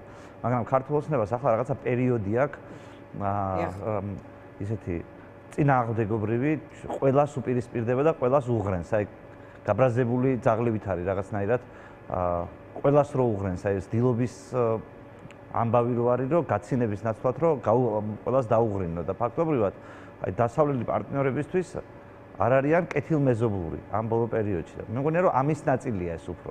აი რაღაცნაირად ეს დასავლეთთან ბრძოლის ნაწილი არის დასავლეთთან ბრძოლის ნაწილია ბრძოლა ზურაბიშვილის დიახ იმიტომ რომ ზურაბიშვილი ზურაბიშვილს სხვა არაფერი არ უხნია როგორც ის აირჩიეს ისეთია ახლაც. შეიცვალა ქართული ოცნება ქართული ოცნება, რომელიც აქამდე პროდასავლურობას აწვევოდა და ამ ფარგლებში მას აა დასავლეთში აღზრდილი და განათლება მიღებული პრეზიდენტი შეიძლება მისთვის გასაგები იყო, მაგრამ შემდეგ დრო შეიცვალა და გამოვიდა ის, რომ ქართული ოცნება ნაკლებად პროდასავლელია თავის რიტორიკაში და სალომე ზურაბიშვილი ის დარჩა, როგორიც იყო. თქვენ გონიათ რომ ეს აბსურდი იქნება, ანუ იმპიჩმენტის პროცედური ლოგიკურ შედეგამდე. ჯერჯერობით ხო ყველაფერი აბსურდია, ანუ ფიზიკურად აი რომ დავიწყოთ, რომ ედავები სალომეს პირადი ხარჯებით რატო დადის ევროინტეგრაციასთან დაკავშირებული ვიზიტებზე, რომელიც დადასტურებულია იმითი, რომ მაგალითად თანამდებობის პირები ხდებიან ქალბატონ სალომეს და პარალელურად პრემიერი დასეირნობს მაშინ რა ქვია დასავლეთში სახელმწიფო თვითმფრინავით და ხან იმას ამბობენ, რომ კერძო ვიზიტიაო, ხან იმას ამბობენ რომ მამამ ჩარტერი მამამ ჩაურიცხაო მე იკითხება მამას ამდენი შემოსავალი ქონდა თუ არა და თქვა იყო თუ არა გადასახადის გადამხდელი ამდენი შემოსავალი თუ ქონდა ადეკვატურად. აი ყველაფერში აიხლართნენ მე ამას დაერთხა ერთმან ერთმანეთზე უფრო ამაზე უარესად აი უბრალოდ რომ დაგელაგებინა რომ როგორ გინდა სამომეს ზურაბიშვილის იმპიჩმენტი დაიწყო. და როგორ გინდა ამავდროულად პრემიერ-მინისტრის ვიზიტი გააპრავო აი ამაზე უარესი ნაბიჯები უბრალოდ ვერ იქნებოდა რომ დაგექირავებინა. ყველაზე უარესი PR მენეჯერი პირობითად აი ყველაზე უარესი თანო გებძვის შენი მტერი რო არის ესეთი. და იმის რჩევა რომ იგიღო და მაგის შესაბამისად გემოქმედა ამას იზამდი ფიზიკურად. ხა მეორე საკითხია რომ ოპოზიცია იმდენად გასულია ზოგადად ადეკვატურობის ზონიდან რომ ქართულ ოცნებას ყოველგვარი შეცდომა შერჩება ხოლმე. რაც არ შერჩება ის ფულითაა გადაზღვეული და რესურსებით რომელიც ყველაფერი ხელში უჭირავს. მაგრამ აი თუ რამე რეპუტაციული ზიანის მიღება არსებობს, სრულიად უმიზეზოდ მეორე მხარეს აი სალომე ზურაბიშვილი რის გამოსჯი? აი რო აყენებ რის გამოსჯი? იმის კი არა რომ ევროპაში და ეს ეს ვიჯერა, ეს ისულელე. ანუ სულ ხო ორი ვარიანტი გაქვს. ერთი ვარიანტი გაქვს ის, რომ რუსებს უთხრა, რომ აი ნახეთ ჩემი პრეზიდენტი კიდადის, მაგრამ მე რითაც შემიძლია იმითი ვებრძვი. ვებრძვი, ბატონო, ეს ყველაზე უფრო სიმართლესთან ახლოს გამოიყურება, იმდენად აბსურდულია თვითონ ეს პროცესი. და მეორე ვარიანტი ის იყოს, ის შეიძლება ყოფილიყო რაღაც ინფორმაცია თუ ქონდა, რომ ის მიხელ სააკაშვილის გაშვებას აპირებს, ასევე რუსებს ეუბნები, რომ აი ნახეთ მე არ მემორჩილება, მე ყველაფერს ვაკეთებ ამ ამ შედეგად. და რა გავაკეთოთ ახლა? ანუ თავზემო ძალა არ არის. მაგრამ ამას აზრი აქვს ის ზურაბიშვილს ამუნათებს რომ თუ სააკაშვილის შეწყალებას ის გადაწყვეტს რომ აი იმისთვის აკეთებს რომ ნაციონალურ მოძრაობამ იმპიჩმენტში არ ჩაერთოს. მოკეთ ვაჭრობს თავისი აი როგორც ოცნებამ წაუგებელი თამაშია ასე დახატა კობახიძემ. არა წაუგებელი კი უკვე წაგებული გაქვს. ანუ წაუგებელი კი არა მოუგებელია უკვე წაგებულია. ერთადერთი ეს რითი შეიძლება თქვა გამოასწორო ბრწყალებში და თქვა რომ აი მე მაინც მოვიგე საბოლოო ჯამში არის ის რომ პრეზიდენტი გადააყენო, მაგრამ აი რად გინდა?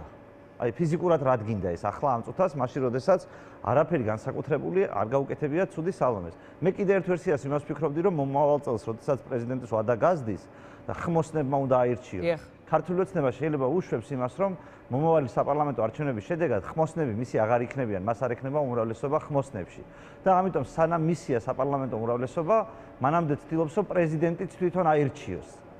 და ახალი პრეზიდენტი ყავდეს, რომ ეს მომავალში, როდესაც საპარლამენტო არჩევნები ჩატარდება, იმ საპარლამენტო არჩევნების შედეგად არჩევნები. ბატონო, არის ეგ ვერსია, რომ კობახიძეს უნდა მაგალითად ხო, მაგრამ აი ყველა ყველაფერი ეს ყველაფერი შარია, ანუ არა მე დღეს თქვი კიდეც რომ სანაძლეოს დებ მეთქი რომ შეიძლება წავაგო კაცო მე რაღაც არ ვიცი აბა თქვით რა რა უბრალოდ იმ რეალობაში რა რეალობაც ახლა უბრალოდ მზადდება პარლამენტში შიგნით როგორც მათ შორის ნაცმოძრაობა როგორც თავის წევრებს მოუწოდებს და როგორც აშიშულებს პირობითად რომ ვინც იქ შევა იმისთვის რომ რაღაცას თითი დააჭიროს ის რაღაცნაირად დაგმობილი იქნება და მთელი ეს რაღაცა ლანძვაგინების კორიანტელი ამ მას დაეკისრება. კი მე მესმის რომ პარლამენტში არის ხალხი რომელიც რავი ხა ოღონ ფული გადაუხადე და ყველაფერზე ხელს მოაწერს. ასეთი ხალხი ოპოზიციაშიც დარწმუნებული ვარ იქნება, მაგრამ მე ნაკლებად ჯერა რომ საკმარისი იყოს, იმიტომ მაინც საჯაროს პროფესიაზეა საუბარი. მაინც საჯაროდ გაკეთებულ ნაბიჯებზეა რაღაც საუბარი და აგერ გუშინ მაგალითად ნიკა მაჭუტაძე რომელიც ერთ-ერთი ეჭვიტანილი იყო მოგეხსენებათ. რომ ამ პროცესში ის იქნებოდა გუშინ თქვენს ეთერში თავგამოდებით ამტკიცებდა რომ ის არათუ თვითონ არ მიიღებს ამაში მონაწილეობას, არამედ სხვასაც ეცდება რომ ხელი შეუშალოს. იბატონ ნატო ჩხეიძე მყავდა მანამდე რომ მოწმე გაიმეორა ხო, ნატო ჩხეიძის იმაზე კიდე იყო რაღაც წინააღმდეგობები, მაგრამ ფაქტია, რომ ერთ საქმეზე გადაბირებული ხალხის ნაწილიც გარანტირებულად აქ არ არის ქართული ოცნების მხარეს და აქ დამატებითი რესურსები შევა. ეს ხარაკირის ტოლფასი პოლიტიკური აქტი, მაშინ თავშივე წაგებული როგორც თქვენ ამბობთ, რა რატომ წამოიწყო? ანუ რასაც თქვენ ამ შეიძლება რუსეთ რუსეთის საჩვენებლად და ან რამდენიმე ვარცხლებს ანუ ამ ორ ვერსიაში რუსეთის შეწყალება ერთი და მეორე შეიძლება ის იყოს რომ სანამ მომავალი არჩევნების იმედი თუ არა გაქვს ახლა გააკეთო. თქვათ ახლა ჩაატარო პრეზიდენტის არჩევნები ხმოსნების მიერ და არჩევინო ამ პარლამენტის შესაბამისად მას აქვია დამტკიცებულ ხმოსნებს ეგრეთ წოდებულ და შემდეგ შეწყალების უფლების მქონე პრეზიდენტი ყავდეთ მომავალში საერთოდ შეიძლება არ ყავდეს შენი პრეზიდენტი. მომავალში შეიძლება საერთოდ არ ყავდეს შენი პრეზიდენტი. თუ საპარლამენტო არჩევნებზე ვერ მიიღებ სათანადო შედეგს შეიძლება საერთოდ არ ყავდეს შენი პრეზიდენტი. ანუ არა თუ სწორედ ქართულ ოცნებას პრეზიდენტის ინსტიტუტი სავარძელი მაინც კონდეს სულ ეს ორი ვერსია არსებობს. მე არ გამორიცხავ რომ მათი აი ამ ორი ვერსიის კოლაბორაცია შეიძლება იყოს ამ ყველაფრის აა ისა რა ქვია ერთობლიობაში კიდევ არის ღარიბაშვილის იმპიჩმენტის თემა, ამას როგორ უყურებთ და დაგეგმეთ. მაგრამ წარმოგიდგენთ რომ აი თქვენ რო თქვით რომ მაშინ რატო ჩადიან ამასო? სინამდვილეში აფერი გასაკვირი არ არის. ქართული ეცნება სულ ასე უცნაურად და გიჟურად იქცევა. რა, წაგებული რუსეთის მხარე რო აირჩიეს, იგივე გიჟობა არ არის, რატო გააკეთეს? ჯარის კანონი რო შემოიტანეს გაზაფხულზე და დღეს რომ მესამე მოსვენით მიიღეს და ორ კვირაში რო ხალხს ვიშკაზე გარეკვას უპირებენ ახალგაზრდებს. და საარჩევნო წელს უპირებენ ამბობენ რომ ან ჩვენ მოგვეცით ხმა ან ყველას ვიშკაზე გაგერეკავთ ვინ ჩვენ ხმას არ მოგწეს აი ამ ნარატივით რო გადიხარ ეს რა გიჟობა არ არის? საერთოდ პრობლემა რო არ გაწუხებდა და კანონს რო იგებ რომელიც რომელიცაც პრობლემას საკუთარ თავს უქმნი ზოგადად ქართული ოცნება შეშილი სამყარო. ქართული ოცნება ზოგადად ანუ უამრავ შეცდომას უშვებს ჩვენ არ ჩავთვალოთ რომ ისინი რაღაც უშეცდომო გენიოსები არიან. სინამდვილეში დგანან თიხის ფეხებზე და ამ თიხის ფეხებს ოპოზიციის და განსაკუთრებით ნაცნობრაობის და მისი ამ მადლობა იაგო ძალიან დიდი მადლობა უნდა დაგემშვიდობო. წინ ახალი ამბები გოლოდება შემდეგ რეაქცია. დარჩით უყურეთ ტვფ